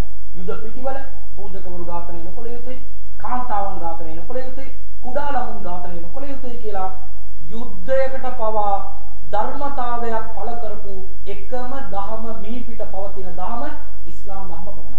කිස් මානව හිතවාදය පිළිබඳව කතා කරන සත්‍යම ගැන කතා කරන අය පවා විවිධ යුද්ධවලදී සීමාව ඉක්මවලා අමානුෂීය ලෙස අහිංසක සිවිල් පුරවැසියන් ඝාතනය කරන තත්ත්වයන් උදා වෙනවා. අද වර්තමානයේ පවා අපි දකිනවා. මේ සියල්ලක්ම ඉස්ලාම් අනුමත කරන්නේ ඉස්ලාම් මානවීයතාවාදයට අනුබල දෙන ධර්මයක්, ත්‍රස්තවාදයට විරුද්ධ වෙන ධර්මයක් කියන එක තමයි මෙම වැකිතුලිනුත් අපි වටහා ගන්න. මේ වල වාක්‍ය සන්දර්භය නොබලා එසේ නැත්නම් එක් කොටසක් පමණක් තමන්ගේ වැරදි මතයට අරගන්නට පුළුවන්. නමුත් ඕමල්පේ සෝබිත හිමිවැනි අති අති ගෞරවනීය ස්වාමින් වහන්සේලා මේ පිළිබඳව තවදුරටත් සුහදව අපත් සමග සාකච්ඡාවන් සඳහා අවස්ථාවන් ඇති කරගත්තා නම් මෙම වාක්‍ය සන්දර්භයක් ඒ අවශ්‍ය සාධක සියල්ලක් ඉදිරිපත් කරලා අපිට යම්කිසි මධ්‍යස්ථ මතයකට එන්නට පුළුවන් කියලා විශ්වාස කරනවා. සහෝදර අබ්දුල් අසීක් මහත්මයානි ඔබගේ දේශනය ඔබතුමා කිව්වා කුර්ආනයේ යම් මුස්ලිම් රාජ්‍යයක් ගැන කතා මුස්ලිම් රාජ්‍ය ගැන සංකල්පය යම් කිසි ශ්‍රී ලංකාවේ සිටින පුද්ගලයන් හා එම විශ්වාසය තමාගේ හිත තුළ තබාගෙන ඉස්ලාමීය රාජ්‍යයක් ශ්‍රී ලංකාව තුළ ගොඩනැගීමට උත්සාහ කරන යම් උපුටා දක්වීමක් අපි දැක්කා මේ කාලෝචිතව. ඇත්තටම මේ ශ්‍රී ලංකාව තුළ එහෙම ඉස්ලාමීය අනුගාමිකව ඒ වගේ දෙයක් කරන්න පුළුවන්ද? හොඳ කාලීන ප්‍රශ්නයක්. කියන්නේ ඉස්ලාමීය රාජ්‍යයක් ගොඩනැගීම කියන ඒ මානසිකත්වය ශ්‍රී ලංකාවේ සිටින තරුණ තරුණියන් අතර මුස්ලිම් තරුණ තරුණියන් අතර පවතිනවා නම් එසේ පැවතීම යුක්තිසහගතද ඉස්ලාම් ධර්මානුකූලද අපි දුටුවා පාස්තු විදින ප්‍රහාරයේ නියලුණු යම් යම් පුද්ගලයන් ඉස්ලාමීය රාජ්‍යයක සිහිනමැවීමක් වුන් කරා. ඒ වගේම IS කියන ත්‍රස්තවාදී සංවිධානය සමග යම්කිසි ආකාරයක Tamanට සම්බන්ධතාවයන් තිබෙන බවට ඔවුන්ගේ ඒ වීඩියෝ පට ඉදිරිපත් කරන අවස්ථාවවලදී මහ ජනතාවට එවැනි පණිවිඩයකුත් වක්‍රානුකූලව ලබා දුන්නා. නමුත් ඉන් පසුව පසු කාලීනව පාස්කු ප්‍රහාරයට පසුව අත්අඩංගුවට ගනු ලැබූ විවිධ තරුණයන් මුස්ලිම් තරුණයන් තරුණියන් අත්අඩංගුවට ගන්න අවස්ථාවලදී ඉස්ලාම් ධර්ම මෙවැනි මතවාදයක් අපට උගන්වා දී තිබෙනවායි කියලා යම් යම් පුද්ගලයන් යම් යම් ප්‍රකාශ ඉදිරිපත් කරනවා කර තිබෙනවායි කියලා යම් යම් ආරක්ෂකයන් සාරංචි මාර්ගදරහ දැනගන්නට ලැබුණා. මේ සියල්ලක්ම සම්පින්ඩණය කරලා බලනකොට මුස්ලිම් තරුණයන් තුල නැත්නම් මුස්ලිම් තරුණියන් තුල ශ්‍රී ලංකාව වැනි රටක් තුල ඉස්ලාමීය රාජ්‍ය ගොඩනැගීමේ මානසිකත්වයක් නැත්නම් මතවාදයක් තිබෙනවා. එසේ තිබෙනවා නම් මේ ඉස්ලාම් අනුකූලද කියන කාරණාව අපි විශ්ලේෂණාත්මකව විග්‍රහාත්මකව සලකා බැලිය යුතු කාරණාවක්. ඉස්ලාම් වල කිසිදු තැනක Taman මුස්ලිම්වරයෙක් වශයෙන් ජීවත් වන්නට නම් ඉස්ලාමීය රාජ්‍යයක් තුල ජීවත් විය යුතුයි කියලා කොතනකවත් සඳහන් කරලා ඉස්ලාම් දහම කිසිදු තැනක ඉස්ලාමීය රාජ්‍යයක් තුල මුස්ලිම් ජනතාව ජීවත් වීම අනිවාර්යයි කියා හෝ ඉස්ලාමීය රාජ්‍යයක් නොමැති අවස්ථාවකදී මුස්ලිම් ජනතාව එවැනි රාජ්‍යයක් බිහි කිරීමේ වෑයමක් දැරිය යුතුයි කියා හෝ එකදු තැනකවත් සඳහන් කරලා නැහැ. ඊටමත් පැහැදිලි. අපි මුස්ලිම් වරු වශයෙන් විශ්වාස කරන පරිශුද්ධ වූ අල් කුර්ආනය නබිනායකතුමාණන්ගේ මඟ පෙන්වීම. කිසිදු තැනක ඉස්ලාමීය රාජ්‍ය සංකල්පයක් බිහි කරන්න කියලා කොතනකවත් සඳහන් කරලා නැහැ. ඉස්ලාමීය රටක් හැදුනා ඒ පාලන බලාධිකාරයක් ඇති වුණා නම් එවැනි අවස්ථාවකදී පාලන බලාධිකාරිය ක්‍රියාත්මක කළ යුතු විධිවිධාන පරිශුද්ධ වූ අල් කුර්ආනයේ සඳහන් වනවා මිසක් ඉස්ලාමීය රාජ්‍යයක් උදා කිරීම සඳහා වෑයම් දැරිය යුතුයි කියලා කිසිදු අවස්ථාවක සඳහන් කරලා නැහැ. උදාහරණයක් වශයෙන් කියනවා නම් නබිනායකතුමාලන්ට පෙර ජීවත් වුණු විශිෂ්ට ගණේ මුස්ලිම්වරු අතිශයින්ම ගෞරවයට ලක් කරන වක්තෘවරයෙක් තමයි යූසුෆ් නබිතුමාණන්. යෝසෙෆ් කියලා ක්‍රිස්තියානි ජනතාව එතුමාණන්ට ආමන්ත්‍රණය කරනවා. මේ යූසුෆ් නබිතුමාණන්ගේ ජීවිත කතාව අලංකාර ඉතිහාසය කියලා අහ්සනුල් කසස් අලංකාර ඉතිහාසය කියලා පරිශුද්ධ වූ අල් කුර්ආනයේ 12 වන පරිච්ඡේදයේ සඳහන් වෙනවා.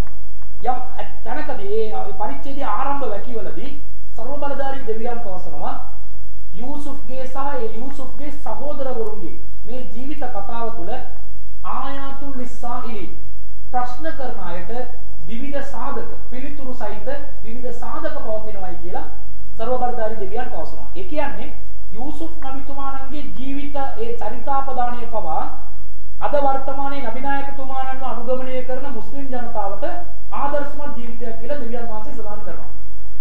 මේ යූසුෆ් නබිතුමාගේ ජීවිතේ සියලු දෙනාම දන්න දෙයක් තමයි යූසුෆ් නබිතුමාණන් කුඩා කාල වකවානුවේදී තම දෙමාපියන්ගෙන් ඈත් වෙන අවස්ථාවක් ඇති වෙනවා. අතිවිශාල ඉතිහාස කතාවක්. නමුත් ඒ කතාව තුළ අපිට අවශ්‍ය කරන කාරණාව පමණක් මම මතු කරන්න.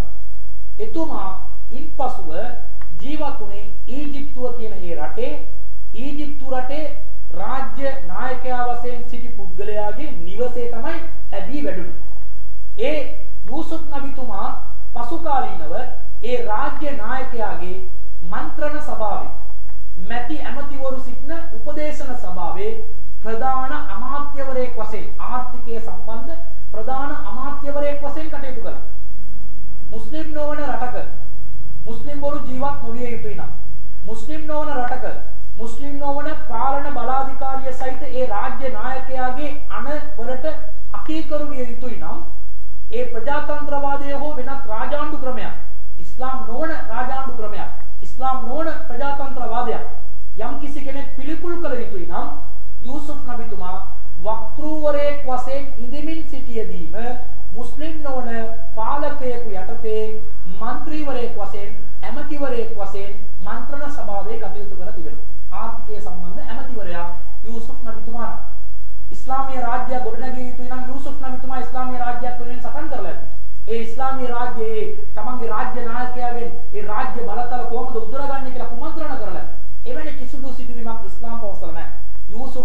තම අවසාන ජීවිතය දක්වා ඒ රාජ්‍ය නායකයා යටතේ ජීවත් වුණයි කියලා තමයි පරිශුද්ධ කුර්ආනයේ අපට පැහැදිලිව උගන්වා දෙන්නේ. මෙතනින් අපට ගම්‍යමාන වෙන දේ තමයි මුස්ලිම් නොවන පාලන බලාධිකාරියක් ව්‍යවස්ථාවක් අපව පාලනය කරනවා නම් එයට අවනත වීම ඉස්ලාම් ධර්මයේ කිසිසේත්ම අපට විරුද්ධ ඉස්ලාම් වලට විරුද්ධ මතයක් වශයෙන් උගන්වලා දීලා නැහැ. ඒ වගේම යූසුෆ් නබිතුමා කියන්නේ ඒ කාලේ ජීවත් වුණ වක්තෘවරයෙක් කියලා යම් කිසි කෙනෙක් විතරනවා. අපි නබිනායකතුමාණන්ගේ ජීවිත කාලය තුළට මෙන්න.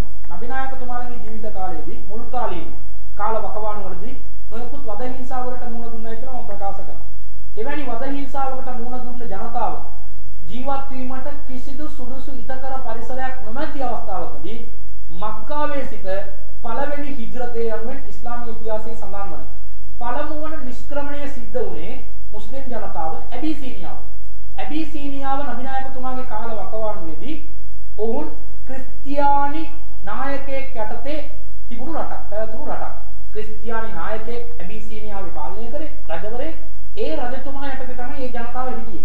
නමුත් නබිනායකතුමා නම් ප්‍රතිමා වන්දනාකරුවන්ගේ ඒ වද හිංසා වලින් ජීවිතය ආරක්ෂා කර ගැනීම සඳහා පළවෙනි ප්‍රාරම්භක මුස්ලිම් ජනතාවගෙන් කොටසක් නිෂ්ක්‍රමණය කරවලා පිටත් කෙරුවේ ඒ මුස්ලිම් නොවන නායකයාගේ රාජ්‍ය පාලනය යටතේ ජීවත් වන්න. හැම කෙනාම මුස්ලිම් නොවන කෙනා මුස්ලිම් වරුන්ට විරුද්ධ වන්නේ නැහැ. මුස්ලිම් වරුන්ට ආරක්ෂාව සපයන මුස්ලිම් වරුන්ට මානව හිතවාදීව කටයුතු කරන පාලනයක් තිබෙනවා නම් ඒ පාලනය යටතේ ජීවත් වීම ඉස්ලාම් වලට පටහැනි නොවේ කියන කාරණාව තමයි මෙම ඉතිහාසයේ පවා අපට සඳහන් කරන්නේ. ඒ වගේම නබිනායකතුමාණන් අවුරුදු 13ක කාලයක් මක්කමේ ජීවත් වුණා මුස්ලිම් නොවන ජනතාවගේ පාලන බලතල සහිත ප්‍රදේශයක් තුල කිසිදු අවස්ථාවකදී පාලන බලතලයේ ලබාගත යුතුයි කියලා කිසිදු වෑයමක් දරලා නැහැ නබිනායකතුමා. ඒ මක්කම රටේ පාලන බලයේ නබිනායකතුමාණන් සතු විය යුතුයිලා සතු විය යුතුයි කියලා කිසිදු පාලන ඒ මෙහෙම නැත්නම් මේ පාලනය ලබා ගැනීම සඳහා කුමන්ත්‍රණයක් හෝ කැරලි ගැසීමක් හෝ කිසිදු උත්සාහයක නබිනායකතුමාණන් නිරත වුණේ නැහැ. මුස්ලිම්වරු වශයෙන් මුස්ලිම් නොවන රටවල් වල අපට ජීවත් වන්නට ඉතාමත් සාධාරණ අවස්ථාවකට ලබා දී තිබෙනවා. ඉස්ලාම් කියන්නේ ප්‍රායෝගික ධර්මයක්. ඒ කාලේ මුස්ලිම් රටවල් සියලු රටවල් මුස්ලිම් රටවල් උනේ නැහැ. මුස්ලිම් නොවන පාලකයන්ගෙන් පිරුණු සියලුම තැන්වල මුස්ලිම්වරු ජීවත් වුණා.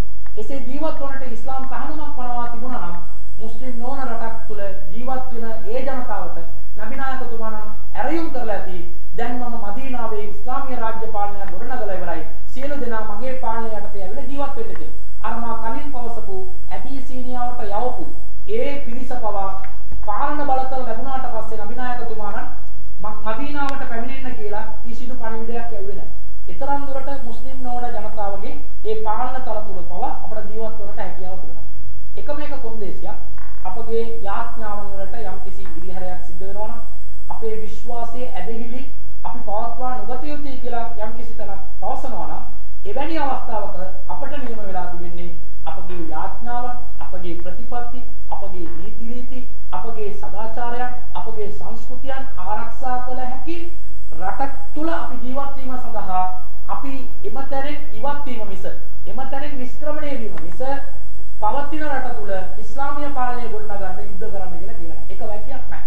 ඒක මඟ පෙන්වීමක් අභිවදනක් නැහැ. මේ ඉස්ලාම් ධර්මයේ අපට පවසා තිබෙන්නේ. අපට අවශ්‍ය නැහැ ඉස්ලාමීය පාලනය. අප අද ජීවත් වන මේ රට තුල අපට ආණ්ඩුක්‍රම ව්‍යවස්ථාව හරහා භාෂණ නිදහස ලබා දී තිබෙනවා. සුහදව සාමූහිකව සාමකාමීව රැස්වීමේ නිදහස අපට ලබා දී තිබෙනවා. ජාතියක් ආගමක් හෝ පක්ෂ දේශපාලන පක්ෂ මතවාදයක් නිසා වෙනස්කමකට භාජනය නොවිය යුතුයි කියලා අපට අයිතිවාසිකමක් ලබා දී තිබෙනවා. අපගේ ඇදහිලි සියල්ල පවත්වන්නට අපට අවශ්‍ය සියලු පරිසරය මෙම රට තුල අපට තිබෙනවා. අද ලංකාවට වඩා නිදහසේ ආගම භුක්ති විඳින රටක් අපට හොයාගන්නට අමාරුයි. ඊතරම් දුරට අපට ආගමික නිදහස මෙම රට තුල තිබෙනවා. කිසිදු උවමනාවක් නැහැ මෙම රට තුල ඉස්ලාමීය පාලනයක් ගොඩනගා ගැනීම සඳහා ආගමානුකූලව අවශ්‍යතාවයකුත් නැහැ. යම් කිසි කෙනෙක් තර්කයකට පවසනවා නම් ඉස්ලාමීය පාලනයක් තිබුණොත් තමයි ඉස්ලාම අනුගමනය කරන්න පුළුවන් කියලා. ඒ ඉස්ලාමීය පාලනයක් තිබෙන රටවල් වල තිබෙන නිදහසට වඩා ශ්‍රී ලංකාව තුළ එම නිදහස අපසතුව තිබෙනවා. එම නිසා මේවා ව්‍යාකූල වැරදි මානසිකත්වයන් මුස්ලිම් තරුණ තරුණියන් මෙම මානසිකත්වයෙන් ඉවත් විය යුතු යම් කිසි කෙනෙක් එවැනි මානසිකත්වයක පසු වෙනවා නම් ඉස්ලාම් ධර්මය මෙවැනි මඟ පෙන්වීමක් ඔබට ලබා දීලා නැහැ. මේ සම්පූර්ණයෙන්ම වැරදි මතයක්. ඉස්ලාම් ධර්මයෙන් නොපෙන්වපු ඉස්ලාම් මඟ නොපෙන්වපු වැරදි නොමග යන සාතාන්ගේ ක්‍රියාමාර්ගවලට පෙළඹෙන සදාකාලිනව අපාගත වන තරමට වැරදි මානසිකත්වයක් කියන එක අපි මදක් විමසිලිමත්වම අවබෝධ කරගත යුතුයි.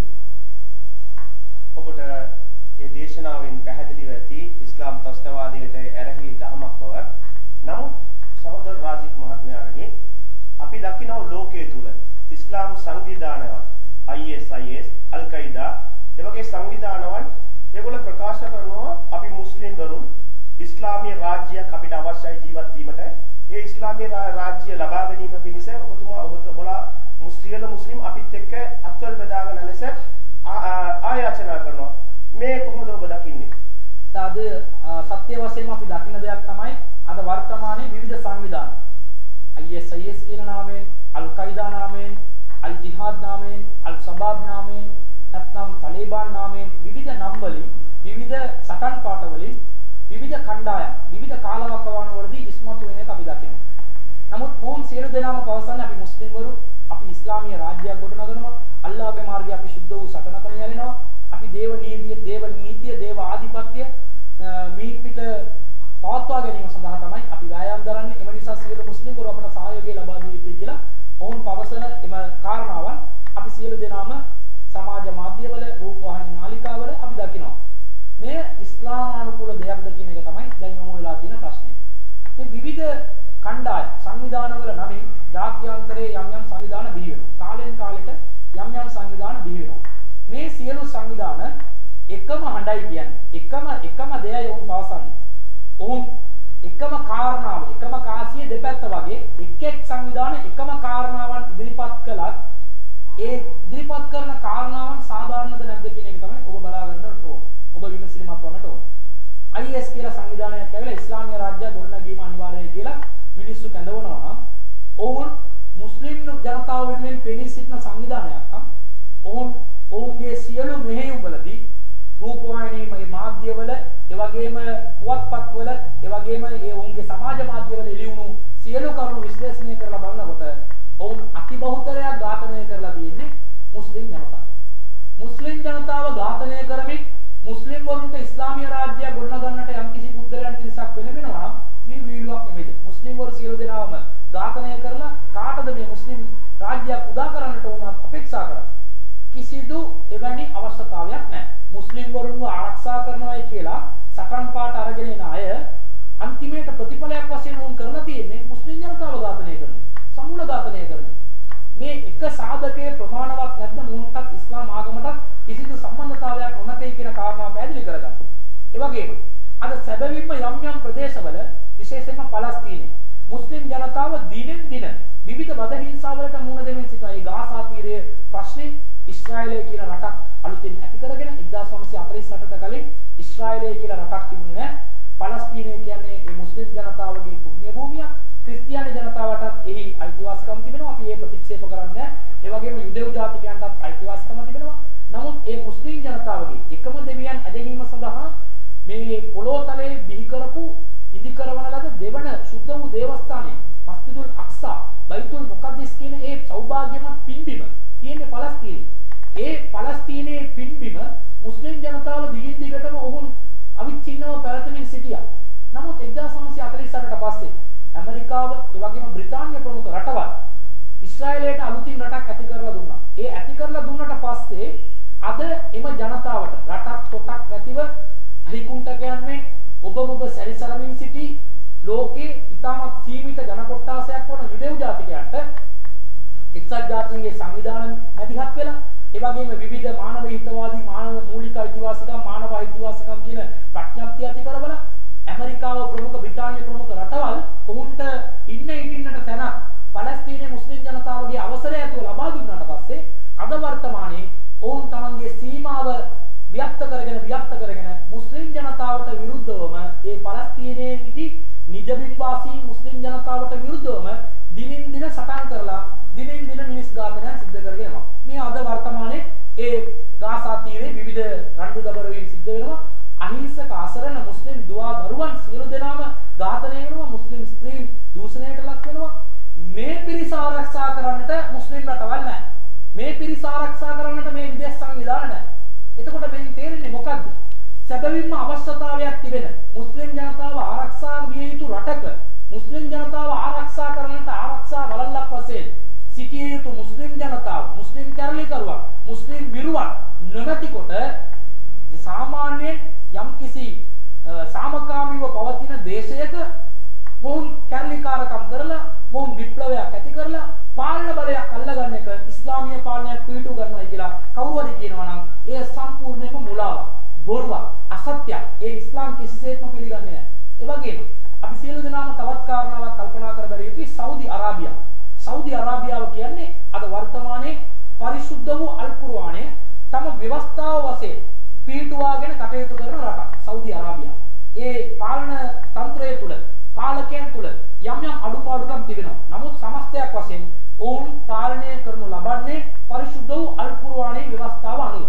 පරිශුද්ධ වූ අල් කුර්ආනයේ ව්‍යවස්ථාව කොටගත් සෞදි අරාබියාව මේ අල් කයිදාවට හෝ මෙම අල් ජිහාද් සංවිධානයට හෝ ශබාබ් වලට හෝ ලක්ෂරේ තයිබා වලට හෝ නැත්නම් වෙනත් ජිහාද් සංවිධාන වලට හෝ බෝකෝ හරාම් වලට හෝ අනුග්‍රහයක් ලබා දීලා තිබෙනවා. රාජ්‍ය අනුග්‍රහයක් ලබා දුන්නද? ඉස්ලාමීය කුර්ආනයේ ව්‍යවස්ථාව සංස්ථාපනය කරන ඒ ක්‍රියාත්මක කරන විශේෂයෙන්ම ශරියා නීතිය අපරාධමේ කුර්ආනයේ පවසන අපරාධ නීතිය ක්‍රියාත්මක කරන රටක් කිසිදු අවස්ථාවක IS වලට සහාය ලබා දීලා නැහැ. අද වර්තමානයේ පවා IS වලට විරුද්ධව ඇමරිකාවත් සමග අත්වැල් බැඳගෙන IS ත්‍රස්තවාදීන් සමූල ඝාතනය කරන ඒ ක්‍රියාවලිය කර්තව්‍ය නියැලෙන්නේ සෞදි අරාබියාව. එතකොට සෞදි අරාබියාව මෙම ත්‍රස්තවාදී කැරලි කණ්ඩායම් කල්ලි කණ්ඩායම් වලට අරමුදල් සම්පාදනය කරන යම්කිසි පුද්ගලයෙක් සිටියනම් නැත්නම් ඒ ත්‍රස්තවාදී කණ්ඩායම් වල ක්‍රියාකලාප වලට පක්ෂව දේශනා පවත්වන ආගමික නායකයෙක් සිටියනම් වහාම සිරබාරයටගෙන ඔවුන්ට මරණීය දඬුවම් ක්‍රියාත්මක කරනවා. එතකොට ඊතරම් දුරට අද ඉරානය වෙන්නට පුළුවන් වෙනත් රටවල් කුරුදිවරු වෙන්නට පුළුවන් ඒ සියලු විප්ලවකරුවන් ත්‍රස්තවාදයේ නියලුණා නම් ඒ ත්‍රස්තවාදයට විරුද්ධව අතිශයින්ම දැවැන්ත බල ඇණියක් සහිතව ඒ ත්‍රස්තවාදයට විරුද්ධව මුස්ලිම් නමින් පැමිණියා. ත්‍රස්තවාදයට විරුද්ධව ක්‍රියාත්මක කරන රට සෞදි අරාබියාව. ඒ නිසා ප්‍රායෝගිකව අපි දකින දේ සුද්ධ වූ කුර්ආනයේ මූලික સિદ્ધාන්තත් අපට පවසන්නේ ත්‍රස්තවාදයකට ඉස්ලාම වල ඉඩක් නැහැ. අන්තවාදයකට ඉස්ලාම වල ඉඩක් නැහැ. මුස්ලිම් නොවන ජනතාව ඉස්ලාමීය නමින් ඝාතනය කිරීමකට ඉස්ලාම් ධර්මයේ කිසිදු ඉඩක් නැහැ. කවර නමින් සංවිධාන බිහි වුණත් ඔවුන් සියලු දෙනාම කරන්නේ මැද පෙරදිග රටවල් වල දේශපාලන විපර්යාසයක් ඇති කරලා බටහිර රටවල් හා වෙනත් රටවල් වල දේශපාලන බල ව්‍යක්තිය බල අධිකාරිය පිළිවන් සතුව ලබා ගැනීම සඳහා කුමන්ත්‍රණකාරීව මුස්ලිම් ජන සමාජය තුළ විකෘති කිරීම කරලා විවිධ වැරදි අදහස් රෝපණය කරලා මුස්ලිම් ජනතාවගේ අතින්ම මුස්ලිම් ජනතාව විනාශ කරන ඒ ජාත්‍යන්තර කුමන්ත්‍රණයක් ක්‍රියාත්මක වනවා මිසක් ඉස්ලාම් වලට මෙම ත්‍රස්තවාදයට ත්‍රස්තවාදී සංවිධානයටවත් කිසිදු සම්බන්ධතාවයක් නැහැ. මේ තමයි යථාර්ථය. බොහොම ස්තුතියි. ඒක පැහැදිලි කරාට නමුත් ඔබතුමා අපිට කෙටියෙන් කියන්න ISIS අල් කයිදා වැනි සංවිධානයේ මුස්ලිම් වරුන්ද අනිත් ප්‍රශ්නය මේ ශ්‍රී ලංකා දූපත තුල සිද්ධ වුණු පාස්කු ප්‍රහාරයට ඍජුවම සම්මත වූ කට්ටිය ඔබතුමා කිව්වා ත්‍රස්තවාදයේ කරපු නම ඒ පිරිස් දඩුවම් ලබා දිය යුතු බව. ඒව මරණ දඩුවම් ලබා දිය යුතු බව. මෙහි ත්‍රස්තවාදයට ඍජුවම සම්බන්ධ මුස්ලිම් නමින් පෙනී සිටින අයන්ට කොටස් වලට දිය යුතු දඩුවම කොහොමද? ISIS සංවිධානයේ මුස්ලිම්වරුන්ට. හරි ඒ තවත් හොඳ කාලීන ප්‍රශ්නයක් තමයි IS සංවිධානයේ සමාජිකත්වයක් දරන කෙනෙක් මුස්ලිම්වරයෙක් වන්නට පුළුවන්ද කියලා අහනවා. එක් පුද්ගලයෙක් මුස්ලිම්වරයෙක් වෙනවා නම් ඒ පුද්ගලයා මුස්ලිම්වරයෙක් වන්නේ තමන්ගේ උපත අනුව හෝ ඒ પરම්පරාව අනුව හෝ නැත්නම් යම්කිසි කුලයක් පදනම් කරගෙන නෙමෙයි. ඒ පුද්ගලයෙක් මුස්ලිම්වරයෙක් වන්නට නම් මුස්ලිම් කියන වචනේ අර්ථය වචනාර්ථය කීකරුණු පුද්ගලයා. කාටද කීකරුවන්නේ? ਸਰව බලධාරී දෙවියන්ට ඒ දෙවියන්ගේ ධර්ම දූතයන් වන මොහම්මද් නබිතුමාණන්ට. මේ දෙපොළට කීකරුවන් අවනත වන පුද්ගලයා තමයි මුස්ලිම් කියලා කියන්නේ. ඉස්ලාම් වල පැහැදිලි අනක් තිබෙනවා. අහිංසක අසරණ ජනතාව ඉස්ලාමීය පාලන බලාධිකාරියක් සහිත මුස්ලිම් රටක රාජ්‍යයක් විසින් අධිකරණයක් විසින් දඬුවමට ලක් කළ යුතු මිස වෙනත් පුද්ගලයෙකුට තවත් පුද්ගලයෙකුගේ ජීවිත උදුරා ගන්නට බැහැයි කියලා පවසනවා නම් ඒ සමස්ත මානව සංහතිය ඝාතනය කර පවකට සමානයි කියලා ඉස්ලාම් පවසනවා නම් මේ IS සංවිධානයේ ඉන්න පිරිස මුස්ලිම්වරු වන්නේ කෙසේද? ඔවුන් ඝාතනය කරේ සම්පූර්ණයෙන්ම ඝාතනය කළේ ඝාතනය කරමින් සිටින්නේ අහිංසක අසරණ ජනතාව. පාස්කු ප්‍රහාරයෙන් ඝාතනයට වුණු ඝාතනයට ලක් වුණු 300කටත් අධික ජනතාව කවුද? අහිංසක අසරණ තම දේව මෙහෙයුම සඳහා දේව යාඥාව සඳහා ඔවුන් ගිය පිරිසක්, නිර්ආයුධ පිරිසක්, අවිආයුධ වලින් තොර පිරිසක්. ඔවුන් සටනක් ගැන අදහසක් නැහැ. ඔවුන්ට යුද්ධයක් ගැන කිසිදු චේතනාවක් නැහැ. ඔවුන් ගියේ තමන්ගේ ඇදහිල්ල අනුව විශ්වාසය අනුව තමන් අදහන දෙවි දේවතාවුන් පිළිබඳව තමන් යාඥාවක් පවත්වන්නට ඔවුන් ගියේ. එවැනි පුද්ගලයෙකුව ඝාතනය කරනවායි කියන එක කෙතරම් දුරට ඉස්ලාම් ධර්මයේ තරයේ එලා දකින්නවා. මිනිසෙකුව ඝාතනය කරා නම් සදාකාලිනව අපාගත වන්නට සිද්ධ වෙනවායි කියලා ඉස්ලාම් ධර්ම පවසනකොට අහිංසක අසරණ කෙනෙක්ව ඝාතනය කරා නම් ඒ කෙතරම් දුරට ඉස්ලාම් ධර්මයට පටහැනි ක්‍රියාවක්. ඉස්ලාම් වල ਸਰව බලධාරී දෙවියන් කිසිසේත්ම සමාව නොදෙන පාපයන් කීපයක් තිබෙනවා. පළවෙනි පාපය තමයි එක් පුද්ගලයෙකු දෙවියන්ට සමානව දෙවියන්ට දෙවියන් සතුව තිබෙන්න ගතිගුණාංග ලක්ෂණ සියල්ලක් තවත් පුද්ගලයෙකුට හෝ වස්තුවකට ආරෝපණය කරනවා. ඒ පුද්ගලයා දෙවියන්ට ශිර්ක් සමානයන් ආදේශනය කරන කල්පනය කරන පාපයක් දරනවා. ඒ පුද්ගලයාට කිසිසේත්ම මරණින් මතු ජීවිතයේදී ජයග්‍රහණය කරන්නට බෑ. සදාකාලිනව අපාගත වන්නට ඕන. ඊළඟට දෙවෙනුව ඒ දෙවියන් සදාකාලින අපාය ලබා දී තිබෙන්නේ මිනිස් ඝාතනය. එක් පුද්ගලයෙක් අනවශ්‍ය ලෙස කිසිදු සාධාරණ හේතුවක් නොමැතිව ඉස්ලාමීය රජයක් විසින් නොවන අයුරින් තවත් පුද්ගලයෙකුගේ ජීවිතයක් ඝාතනය කර තිබුණා නම් ඒ පුද්ගලයා සදාකාලිනව අපාගත වනවායි කියලා නබිනායකතුමාණන් ඉතා පැහැදිලිව පවසා තිබෙනවා. ඒ වගේම එක් පුද්ගලයෙක් තමන්ගේ අත්වලින් තමන්ගේ ජීවිතය උදුරා ගත්තා නම් එවැනි පුද්ගලයොත් සදාකාලිනව අපාගත වන පුද්ගලයන් කියලා නබිනායකතුමාණන් පවසා සිටිනවා. එසේ සිටිනකොට මෙම අහිංසක අසරණ ජනතාවගේ ජීවිතත් උදුරාගෙන තමන්ගේ ජීවිතත් සියදිවි නසා ගන්නා තත්වයකට පත්වන පුද්ගලයන්ව මුස්ලිම්වරු වශයෙන් පැවසීමේ තිබෙන ඵලය මොකක්ද? කිසිදු ඵලයක් නැහැ. පරලොව ජීවිතයේදී සදාකාලිනව අපාගත වන පාපයක්. නබිනායකතුමාණන් ඉතා පැහැදිලිව පවසා තිබෙනවා. "ෆනහා රසූලුල්ලාහි සල්ලල්ලාහු අලයිහි වසල්ලම් අන් කට්ටලි නිසායි වස්සිබියා." නබිනායකතුමාණන් යුද පිටියේ පවා කුඩා දරුවන් හා කාන්තාවන් ඝාතනය කිරීම තහනම් කර තිබෙනවා. යුද පිටියට කාන්තාවන් පැමිණ අවියායුධ සම්පන්නව පැමිණියත් එම කාන්තාවන් අපි මැඩ පැවැත්විය යුතු මිසක් එම කාන්තාවන්ව ඝාතනය කරන්න එපා කියන. කුඩා දරුවන්ව ඝාතනය කරන්න එපා. පූජකවරුන්ව ඝාතනය කරන්න එපා. එක් යුද පිටියක එක්කෙනෙක් අපි කඩු ප්‍රහාරකින් යුද පිටියක අපි ඝාතනය කර තිබෙනවා නම් ඒ පුද්ගලයාගේ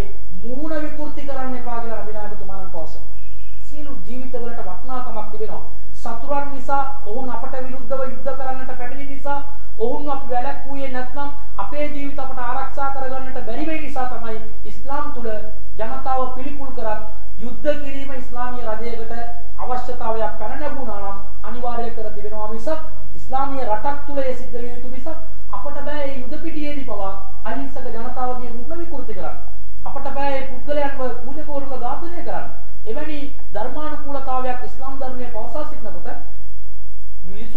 ඝාතනය කරනවා මිටි ගණන්. මිනිස්සුන්ව ගොඩ වශයෙන් ගසලා ඒ මිනිස්සුන්ව සම්පූර්ණයෙන්ම ට්‍රැක්ටර් වලින් දාලා මිනිස්සුන්ගේ ජීවිත නසනවා, බෙලි කපනවා අල්ලාහ් අක්බර් නාමයෙන්. එහෙම ඉස්ලාම් කවදාවත් අනුමත කරන්නේ නැහැ. ඉස්ලාම් වලට පටහැනි ක්‍රියාවක්. නබි නායකතුමාණන්ගේ කාලේ නබි මිත්‍රවරයෙක් ඉතාමත් වේගෙන් යුද පිටියක ඒ සතුරන්ට විරුද්ධව යුද්ධ කරමින් සිටින අවස්ථාවකදී සෙසු නබි මිත්‍රවරු නබි නායකතුමාණන්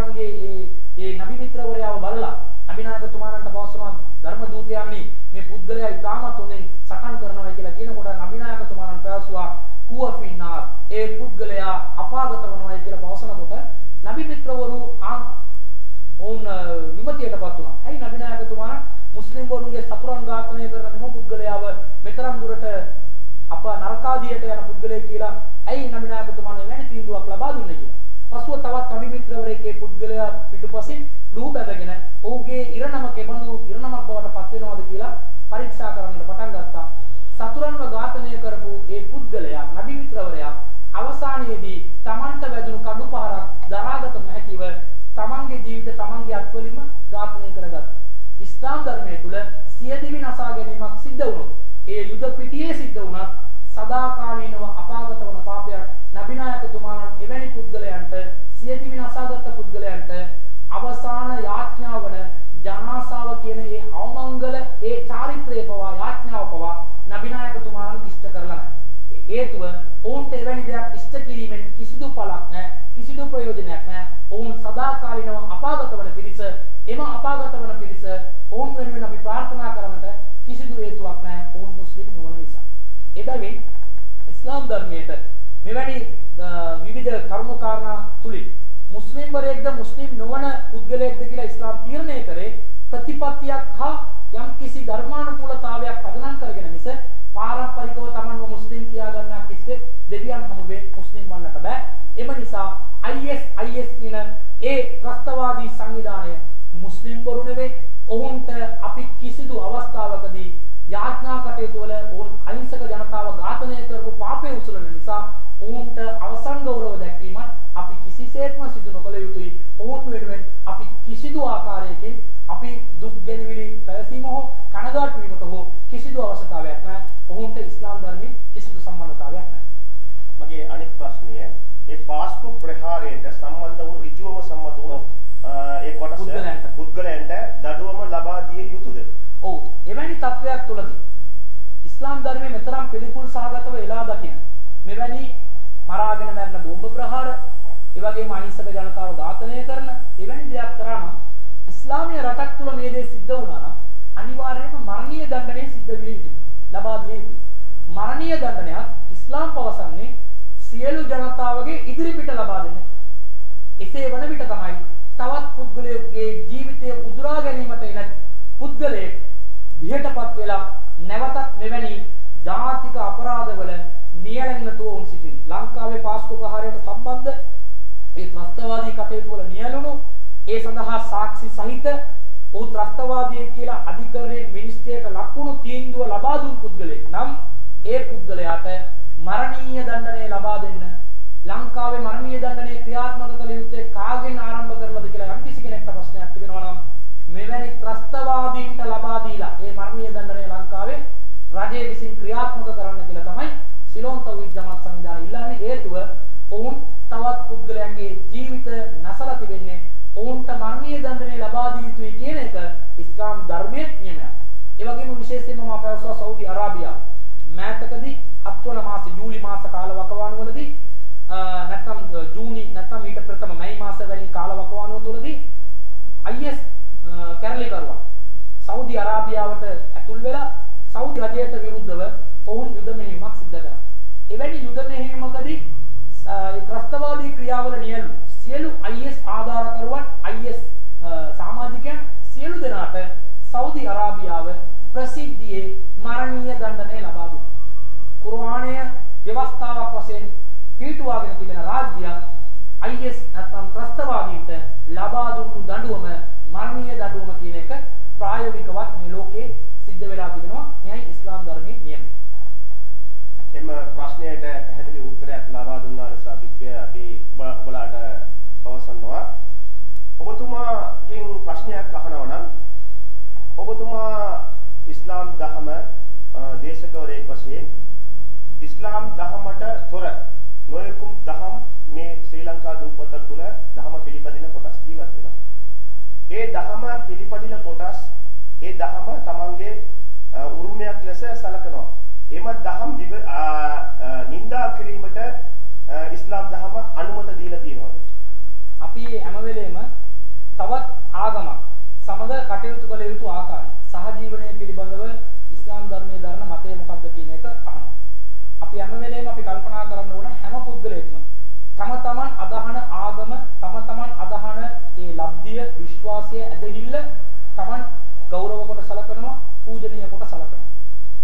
එය මිත්‍යා දෘෂ්ටික වන්නට පුළුවන් අතාර්කික වන්නට පුළුවන් ප්‍රායෝගික නොවන්නට පුළුවන් විද්‍යා විද්‍යාවට අවිද්‍යාවෙන් පිරුණු දෙයක් වන්නට පුළුවන්. නමුත් ඒ ඒ පුද්ගලයන් තම තමන් විශ්වාස කරන ආගම තම තමන් විශ්වාස කරන ඒ ලබ්ධිය උතුම් කොට සලකනවා. එසේ සිද්ධ විය යුතුයි. සියලුම පුද්ගලයන් සියලුම පුද්ගලයන්ගේ අන්‍ය ආගමික ආගම් වලට ගරු කරගෙන ජීවත් විය යුතුයි. නමුත් සාමාන්‍ය සදාචාරයක් තියෙනවා විවේචනයක් තිබෙන්නට පුළුවන්. විවේචනයන් කියන්නේ තවත් ආගමක් නිග්‍රහ කිරීම නෙවෙයි. තවත් ආගමක් අපි අපහාසාත්මකව නිග්‍රහ කරන එක වැරදි. නමුත් විවේචනයක් සාධාරණ පදනමක් මත නම් ගම් වශයෙන් අපි උපුටා නොදක්වලා අපට යම්කිසි පදනමක් ඇතුව විවේචනයක් ඉදිරිපත් කරන්නට පුළුවන්. එසේ විවේචනයක් සිද්ධ කිරීම ආගමික නින්දාවක් වශයෙන් යම්කිසි පුද්ගලෙක් බල බලන්නට අවශ්‍ය නැහැ. උදාහරණයක් වශයෙන් පවසනවා මෙම ජනාධිපති වර්ණය තුල ජ්‍යොතිෂය පිළිබඳව විවිධ විවේචනයන් ඉදිරිපත් වුණා. විවිධ ජ්‍යොතිෂ වේදීන් තම තමන්ගේ ජ්‍යොතිෂ ඒ කලාව තුලින් මේ රට තුල ජනාධිපතිවරයා වශයෙන් පත්වන්නට යන්නේ කවුද කියලා නොයෙකුත් අනාගත වැකි ප්‍රකාශයට පත් කරනවා. නමුත් ඒ අවස්ථාවේදී පවා විවිධ පාර්ශවයන් ඒවා විවේචනයට ලක් කරනවා. මේ සියලු දෙනාම කරන්නේ වැරදි සහගත වැඩ. මොහුන්ගේ අනාවැකි වල කිසිදු සත්‍යතාවයක් නැහැ. මේවා හැම වෙලෙම දේශපාලන බල වුමනාවට විවිධ පුද්ගලයන් හරහා සිදු කරවා ගන්න ක්‍රියාවන් කියලා විවේචනයන් සිද්ධ වුණා. එවැනි විවේචනයන් සිද්ධ වීම නිසා ඒ ජ්‍යොතිෂ වේදියාව අගෞරවයට පත් කරයි කියලා ඒ ජ්‍යොතිෂ වේදියා සිතන්නට බෑ. ජ්‍යොතිෂ වේදීන් පළ කරපු විවිධ අනාවැකි අද ජනාධිපතිවරණයේදී බොරුවක් බවට පත් වෙලා තියෙනවා. මම ජ්‍යොතිෂය කියන ඒ ශාස්ත්‍රය ඒ තුල තිබෙන්නා වූ යම් යම් වැරදි මිත්‍යා දෘෂ්ටික මතවාදයන් මම යම් කිසි කෙනෙක්ට පැහැදිලි කරලා මේ වැරදි කියලා මම පවසන එක ඒ පුද්ගලයන්ට හෝ ඒ ජ්‍යොතිෂ ඒ ශාස්ත්‍රය තුල සම්බන්ධ වී තිබෙන පුද්ගලයන්ට කරන අගෞරවයක් අවමානයක් කියලා යම් කිසි කෙනෙක් ඒ අර්ථකථනය කරා නම් අපට සත්‍ය අසත්‍යතාවයන් මොකක්ද කියන එක උරගා බලන්නට තිබෙන අවස්ථාව නැති වෙලා. නිසා විවේචනාත්මක පැත්ත කියන්නේ වෙන දෙයක්. නමුත් නිග්‍රහාත්මකව චේතාන්විතව තවත් ආගමක් අපහාස කිරීම සඳහා යොමු වීම වැරදි. ඉස්ලාම් දහම එය කිසිදු අවස්ථාවකදී අපට අනුමත කරන්නේ නැහැ. ඉස්ලාම් වල විවේචනයට මඟ විවෘත කර දෙනවා. උදාහරණයක් වශයෙන් පවසනවා ඉස්ලාම් දහම ප්‍රතිමා වන්දනාවට විරුද්ධයි. ඉස්ලාම් දහම දෙවියන්ගේ ඒ බලය, ගතිගුණ, ගතිපැවතුම් ලක්ෂණ සියල්ලක්ම තවත් වස්තුවකට හෝ දේපලකට හෝ පුද්ගලයෙකුට ආදේශ කරන එක ඉස්ලාම් ධර්මය සම්පූර්ණයෙන්ම එලා දානවා. ඒ ප්‍රතිමාව කියන සංකල්පය තුල ඉඳගෙන ඉස්ලාම් පවසන දෙයක් තමයි අලහුම් අර්ජුනුන් යම්සුන බිහා. ප්‍රතිමාවලට ඇවිදින පාද තිබෙනවා. අම්ලහුම් අයිදුන් යුබතිසුන බිහා. ඒ ප්‍රතිමාවලට ස්පර්ශ කරන අත් තිබෙනවාද? අම්ලහුම් අයිනුන් යුබසිරුන බිහා. ඒ ප්‍රතිමාවලට බලන තමන්ගේ ඇස් වලින් බලන බැලිය හැකි දුෂ්‍ය විය හැකි ඇස් තිබෙනවාද? අම්ලහුම් ආදානුන් යස්මා යස්මාඋන බිහා. ඔවුන්ට ශ්‍රවණය කළ හැකි කන් තිබෙනවාද? එවැනි කිසිවක් ප්‍රතිමාවලට නැහැ කියලා ඒ ප්‍රතිමා වන්දනාව ඉස්ලාමීය දැක්ම තුල ඒ මිත්‍යා දෘෂ්ටිකත්වයක් වශයෙන් ප්‍රතිමා වන්දනාව ඉස්ලාමීය සංකල්පය තුල ඒ වැරදි ප්‍රතිපත්තියක් වශයෙන් ඉස්ලාම් පවසන මේ විවේචනය මේ නිග්‍රහාත්මකව අපාස කිරීමක් නෙවෙයි. නමුත් එසේ පවසන ਸਰව බලධාරී දෙවියන් වෙනත් ආගමිකයන් නම දින පූජනීය කොට සලකන নমස්කාර කරන ඒ ප්‍රතිමාවලට බැනවැදී දෝෂාරෝපණය කිරීම ඉස්ලාම් තරයේ හෙලා ගන්නවා. උදාහරණයක් වශයෙන් පවසනවා නම් සුද්ධ වූ කුර්ආනයේ පවසනවා ਸਰව බලධාරී දෙවියන් අයවන පරිච්ඡේදයේ 108 වන වැකිය. වලා තසුබ්බුල්ලදීන යදුඋන මින් දුනිල්ලා. අල්ලා නොවන ප්‍රතිමාවන් ඇදහිලි කරන අල්ලා නොවන අල්ලාගේ තැනට පූජනීය කොට සලකමින් මුස්ලිම් නොවන ජනතාව අදහන ඒ පුද්ගලයන්ට ඒ ප්‍රතිමාවන්ට ඔබ දෝෂාරෝපණය නොකරන්න. ෆයිසුබ්බුල්ලාහ අදවන් බිගෛරි ඉල්මි. ඕන් ඕන් වෛරීයව ඕන් සීමාව ඉක්මවමින් අල්ලාට බැනවැදීමට හැකියාව තිබෙනවා. එම නිසා එකිනෙකා එක එක ආගමිකයන් අදහන දෙවිවරුන්ට බැනවැදීම සිද්ධ කරගන්නට එපා. එක් ප්‍රතිමාවක් නමක් කියලා මේ ප්‍රතිමාව මේ ආකාරයෙන් මේ ආකාරයෙන් කියලා බැනවදින ඒ දෝෂාරෝපණය ඉස්ලාම් තරයේම තහනම් කර තිබෙනවා. එසේ කරනකොට ඒ මුස්ලිම් නොවන ජනතාව අල්ලාහට බැන්නට පුළුවන්. නැවත අල්ලාහට දෝෂාරෝපණය කරපු නිසා ප්‍රතිමා වලට දෝෂාරෝපණය කරන්න පුළුවන්. මෙසේ එකිනෙකාට දෝෂාරෝපණය කිරීම තුළින් සහජීවනය සම්පූර්ණයෙන්ම තුරන් වී යනවා. ඒ නිසා සහජීවනයේට බාධාවක් වන කිසිදු මෙවැනි දෙයක්, ඒ කියන්නේ අනාගතයේදී සිදුවිය හැකි අයහපත් අනිසිත ප්‍රතිවිපාක පිළිබඳව ඒ පිළිබඳව పూర్ව දැනුමක් සහිතව කටයුතු කරන්නට අවශ්‍ය වටපිටාව ඉස්ලාම් දාම සකස් කර තිබෙනවා. තවත් දෙයක් තමයි මුස්ලිම් නොවන ජාතිකයන් හෝ මුස්ලිම් ජාතිකයන් තම තමන්ගේ පූජනීය ස්ථාන උතුම් කොට සලකනවා. මුස්ලිම් වරුන්ට මස්ජිද් නම යනුවෙන් හඳුන්වන පල්ලි, මුස්ලිම් පල්ලි අපට පූජනීයයි. මුස්ලිම් නොවන ජනතාවට පන්සල්, කෝවිල්, ඔවුන්ගේ ක්‍රිස්තියානි පල්ලි සියල්ලක්ම ඒ ඒ ජාතිකයන්ට පූජනීයයි. දේවාල ඒ වගේම විවිධ ඇදහිලි පවත්වන අයට ඔවුන්ගේ নমස්කාර වැඳුම් පිදුම් කරන ස්ථාන පූජනීයයි. එම පූජනීය ස්ථාන කඩා බිඳ දැමීම ඉස්ලාමීය රටක් තුල තහනම් කියලා සුද්ධ වූ කුර්ආනයේ අපට පවසනවා. මේ පවසන්නේ 22 වන පරිච්ඡේදයේ 40 වන වැකිය. වලවුලා දෆුල්ලා දෆුල්ලාහි නාස බාදුම් බිබාලි. ඇතමුන් ලවා ඇතමුන්ව අල්ලාහ් තාලා වැළැක්වුවේ නැත්නම් ලහුද්දිමත් සවාමිහු වබියඋන් වසවවතුන් වමස්ජිදුන් අල්ලාහ් තාලාගේ නම අධිකව සිහිපත් කරන මුස්ලිම් දේවස්ථාන, ඒ වගේම මුස්ලිම් නෝනාගේ සිද්ධාස්ථාන, නැමදුම් ස්ථාන, ඒ වගේම කෝවිල් මේ සියල්ලක්ම එකිනෙක සුණු විසුණු වී තිබෙන්නට පුළුවන් කියලා පරිශුද්ධ වූ අල් කුර්ආනයේ අල්ලාහ් තාලා පවසනවා. එසේ සුණු විසුණු වී නොතිබෙන්නේ අල්ලාහ් තාලා ඇතමුන් ලවා ඇතමුන්ව වළක්වන නිසා. නැත්නම් සියලු දෙනාම ගහ කොටාගෙන එන මරාගෙන සියලු දේවස්ථාන විනාශ වියයි කියලා අල්ලාහ් තාලා පවසන්නේ තවත් පුද්ගලයෙකුගේ දේවස්ථාන ආරක්ෂා කිරීම සඳහා තවත් පුද්ගලයන්ව පිහිටුවන්නේම අල්ලාහ් තාලා දේවස්ථාන ආරක්ෂා කරන්න. ඒ ඒ ජන කොට්ටාස උතුම් කොට සලකන දේවස්ථානයකට අපි සුළු ප්‍රහාරයක් එල්ල කරොත් ඒ පුද්ගලයන්ගේ හදවතට පපුවට පීයෙන් ඇන්නා හා සමානයි. ඔවුන්ගේ ජීවිත උදුරාගත්තා හා සමානයි. ඔවුන් ඒ දරාගන්නේ නැහැ. එම නිසා අතිවිශාල මිනිස් සංහතිය සමූල ඝාතනයක් සිද්ධ වන්නට පුළුවන්. මේ සම්පූර්ණයෙන්ම මහ ජනතාව සහජීවීන් ජීවත් වන්නට අවශ්‍ය වටපිටාව සියල්ලක්ම නැති කරන්නට අවස්ථාවක් උදා කරන්නට පුළුවන් නිසා ඉස්ලාම් වෙනත් පූජනීය ආගමික ස්ථාන කඩා බිඳ දැමීම තහනම් කියලා පවසා තිබෙනවා. ඒ ඒ ආගමිකයන් ඉස්ලාම් ධර්මයේ සත්‍යතාවය වැළඳගෙන ඒ සත්‍යයක් යයි වටහාගෙන ඒ පුද්ගලයන් සියලු දෙනාම වෙනස් වෙලා ඔවුන්ගේ ආගමික ස්ථානය වෙනත් ආගමික ස්ථානයක් බවට පත් කරගත්තා නම් ඒ වෙනම කතාවක්. එසේ නොවන්නට මුස්ලිම් කෙනෙක්ට බෑ කිසිදු අවස්ථාවක මුස්ලිම් නොවන ආගමිකයන්ගේ ආගමික ස්ථානවලට අත තියන්න. මෙසේ ඉස්ලාම් තර්කානුකූලව ප්‍රායෝගිකව සහජීවනයේ ඇති කළ හැකි තැන් කුමක්ද කියන එක බලලා ඒ සියලු දේවල් සියුම් ලෙස පරීක්ෂය පරීක්ෂාවට ලක් කරලා ඉස්ලාම් මඟ පෙන්වා තිබෙනවා. මේ පිළිබඳව අවබෝධයක් නොමැති නිසා තමයි බුද්ධ ප්‍රතිමා වලට යම් යම් අමනෝත්යන් විසින් ප්‍රහාරයන් එල්ල කරේ. එවැනි ක්‍රියාකලාපයන් සියල්ලක්ම අභිනායකතුමාණන් හෙලා දක තිබෙනවා. අභිනායකතුමාණන් වසර 13ක් ජීවත් වුණු මේ මක්කම තුල ඒ මක්කමේ මුස්ලිම් වරුන්ගේ සුද්ධ වූ දේවස්ථානයක් වශයෙන් සලකනු ලැබුවා. ඒ කාබාව කියන ਸਰව බලධාරී දෙවියන් ආබ්‍රහම් තුමා ප්‍රතිසංස්කරණය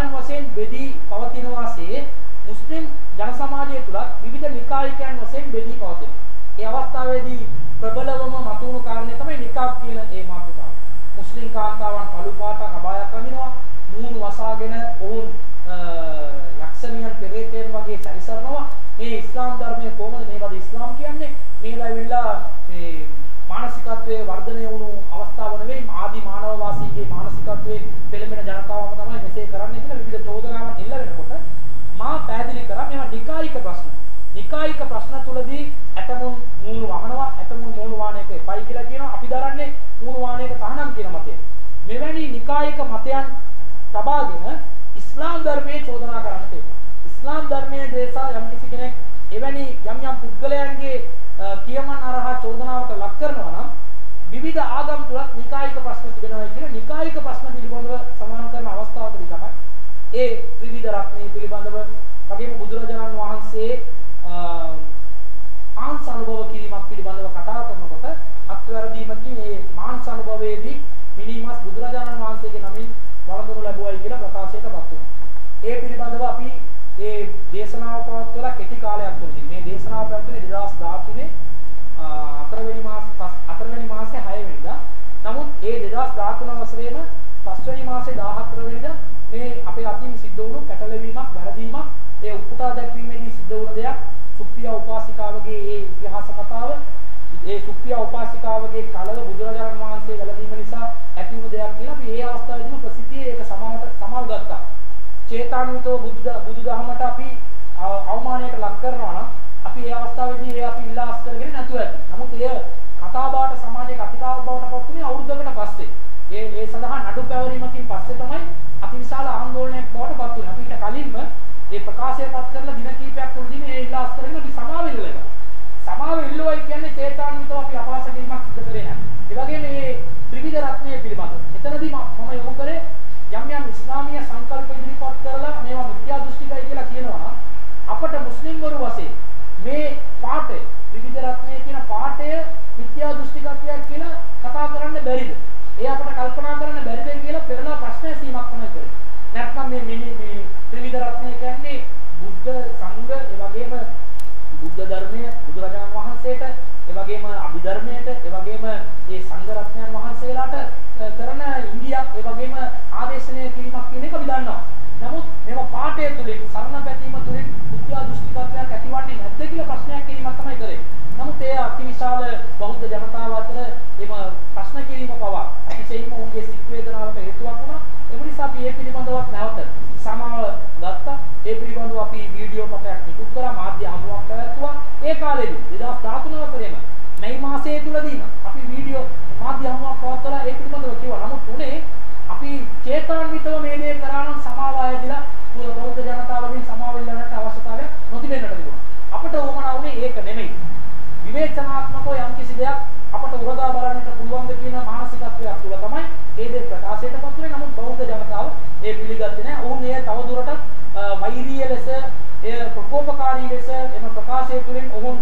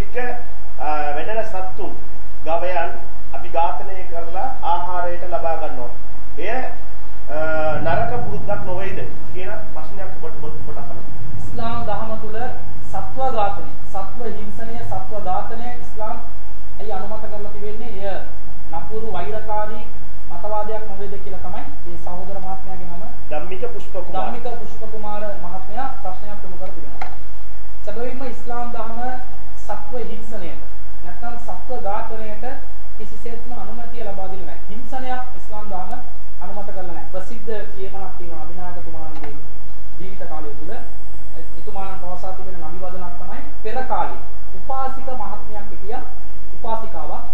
ඒ උපාසිකාව කරපු දේ තමයි Taman එක් බලලෙක්ව දා වඩාගෙන ජීවත් වුණා. නමුත් ඒ බලලාව ඒ උපාසිකාව නිසි පරිදි බලලාට ඒ බලලාව ඉතු මතයට සැරිසරන්න නිදල්ලේ සැරිසරන්නට අවශ්‍ය පරිසරයක් සකස් නොකර දීලා ඉතාමත් මැඩපාත් කළ ඒ බලලාගේ ජීවිතය සම්පූර්ණයෙන්ම හිරගයක් බවට පත් කරලා ජීවත් වුණා. එම අවස්ථාවේදී නබිනායකතුමාණන් පවසනවා එම උපාසිකාව කතරම් දුරට යාත්නාවන් ඉටු කළා. කතරම් දුරට ඒ උපාසිකාව ඒ උපාසිකාවගේ වැඳුම් පිඳුම් වල නියැලුණා. කතරම් ලබ්ධියකින් විශ්වාසයකින් ස්ථීරසාර ලෙස ජීවත් වුණත් ඇය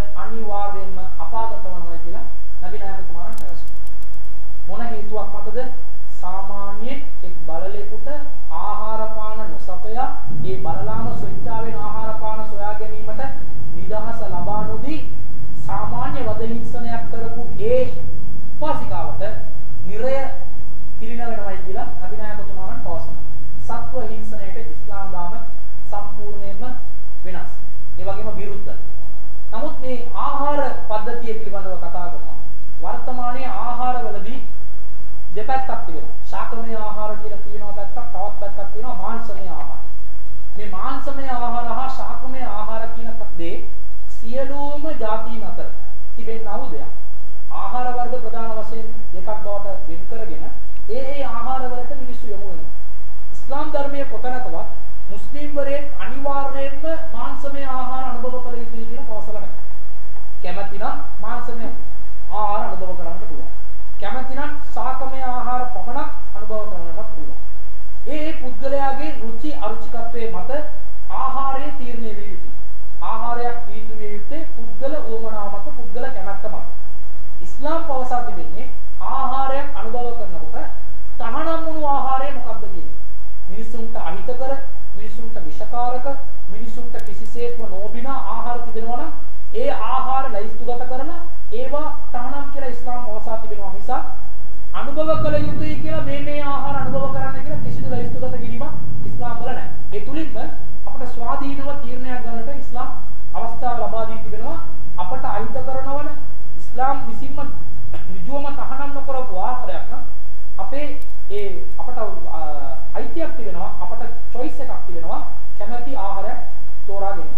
නමුත් මෙතන තියෙන ප්‍රශ්නය ප්‍රායෝගිකව සත්ව ආහාර වලින් ගැලවි 100%ක් සම්පූර්ණයෙන්ම ඉවත් වී කාටත් ජීවත් වීමට නොහැකි වාතාවරණයක් තිබෙනවා. අද ඔබ දන්නවා ආහාර පද්ධතිය කියන්නේ සංකී ආහාරය කියන්නේ සංකීර්ණතාවයකට පත් වෙලා තියෙනවා. අපි කලින්. දැනට සියවස් සියවසකට කලින්. ජීවත් වුණා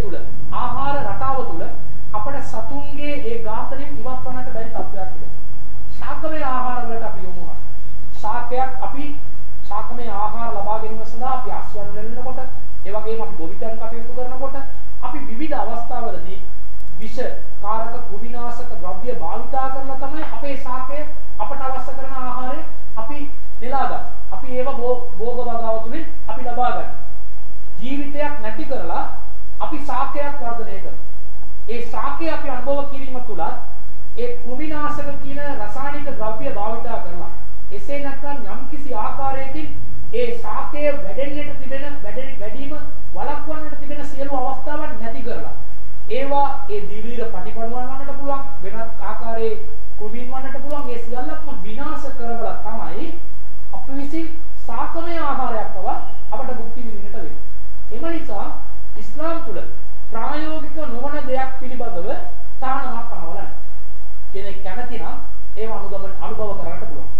මත්ස්‍ය ආහාර.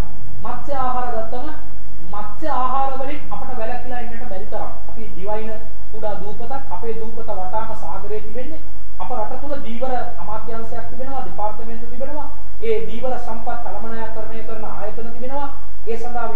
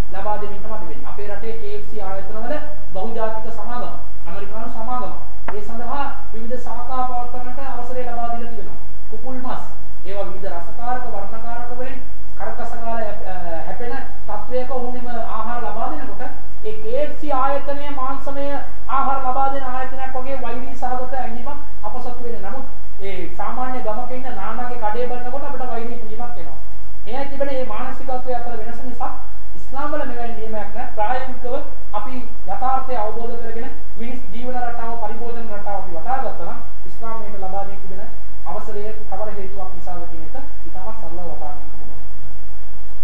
මෙම සත්තු මෙරීමේදී ඉස්ලාම් දහම යම් නීතියක් මිනිසුන්ට කියා දී තියෙනවද? ඔව්. ඉස්ලාම් ධර්මය සත්ව ඝාතනයක් සිද්ධ කරන අවස්ථාවක උවමනාවෙන් සතෙක් ඝාතනය කිසිදු ජීවිතයක් කිසිදු උවමනාවකින් තොරව කිසිදු සාධාරණ හේතුවක් නොමැතිව ඝාතනය කළොත් ඒ සඳහා අපි පරලෝකයේදී වන්දි ගෙවන්නට සිද්ධ වෙයි. මේ නබිනායකතුමාණන් මේ උපාසිකාවගේ ඒ කතා විස්තරය තුලින් මේ පිළිබඳව පැහැදිලි කර තිබෙනවා. නමුත් අපි සතෙක්ව ඝාතනය කරන්නට අවශ්‍යතාවයක් මතු වුණා නම් ඒ සතාව ඝාතනය කරන්නට ඉස්ලාම් ධර්මයේ කුර්බාන් කියලා ක්‍රමයක් හඳුන්වා දී තිබෙනවා. මේ කුර්බාන් කියන ක්‍රමය ලෝකේ පවතිනා වූ සත්ව ඝාතන ක්‍රම තුලින් ඉතාමත් අටුම මට්ටමක අවම මට්ටමක වේදනාව සහිත සත්ව ඝාතනය කරන ක්‍රමයක් කුර්බාන් ක්‍රමය කියන්නේ. එක එල්ලේම පිහිය මුහුණ මොහතින් තබාගෙන ඒ ශ්වාසනාලය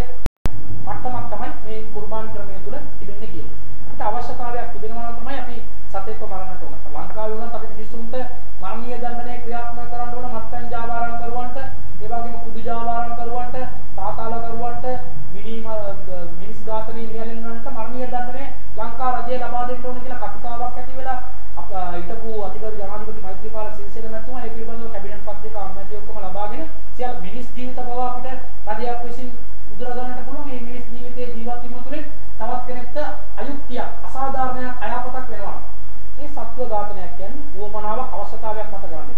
ඒ සඳහා අපට අවසරය ලැබෙන්නේ අපි බිස්මිල්ලා අල්ලාහු අක්බර් අල්ලාහගේ නාමයෙන් අල්ලාහ අතිශ්‍රේෂ්ඨයි කියලා පවසමින් තමයි මේ සතාගේ මේ ජෙල අපි කපන්නේ.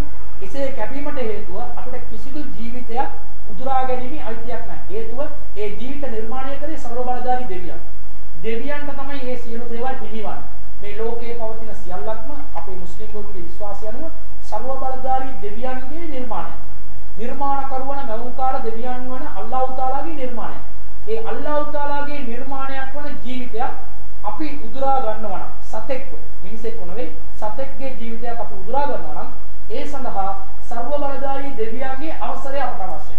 දෙවියන් අවසරය ලබා දී තිබෙන නිසා පමණයි මෙම සත්වයාගේ ජීවිතය පරිභෝජනය උදෙසාම ලබා ගන්න කියලා බිස්මිල්ලා දෙවියන්ගේ නාමයෙන් අවසර ලබාගෙන ඒ දෙවියන් අති ශ්‍රේෂ්ඨයි කියලා උත්කෘෂ්ඨවත් කරවන අපි එම ජීවිතය උදුර ගන්නවා මිසක් අපට කිසිදු අයිතියක් නැහැ නිකමනේ නිකරුණේ සතෙක්ව ඝාතනය කරන්න කියලා. එම නිසා ඉස්ලාම් කුර්බාන් කියන ක්‍රමය තුලින් සතෙක්ගේ ජීවිතය ක්ෂණිකව වෙන වෙන ඉවත් වෙන ඒ වගේම නිමා වෙන සතෙක්ගේ ජීවිතයේ මරණ වේදනාව අවම කරවන දෙවියන්ගේ අවසරය සහිත ඉතා කෙටි ක්‍රමයක් අපට ලබා දී තිබෙනවා. ඒ සත්වයාගේ ජීවිතය අපි පරිභෝජනයේ උදෙසා යහපත උදෙසා අපට භුක්ති විඳින්නට. අපි මදුරුවෙක් අපිව කනවනම් ඒ මදුරුව අපි විනාශ කරන්නේ ඒ මදුරුව විනාශ කිරීම තුළින් සත්ව ඝාතනයට පොළඹවන්න නෙමෙයි.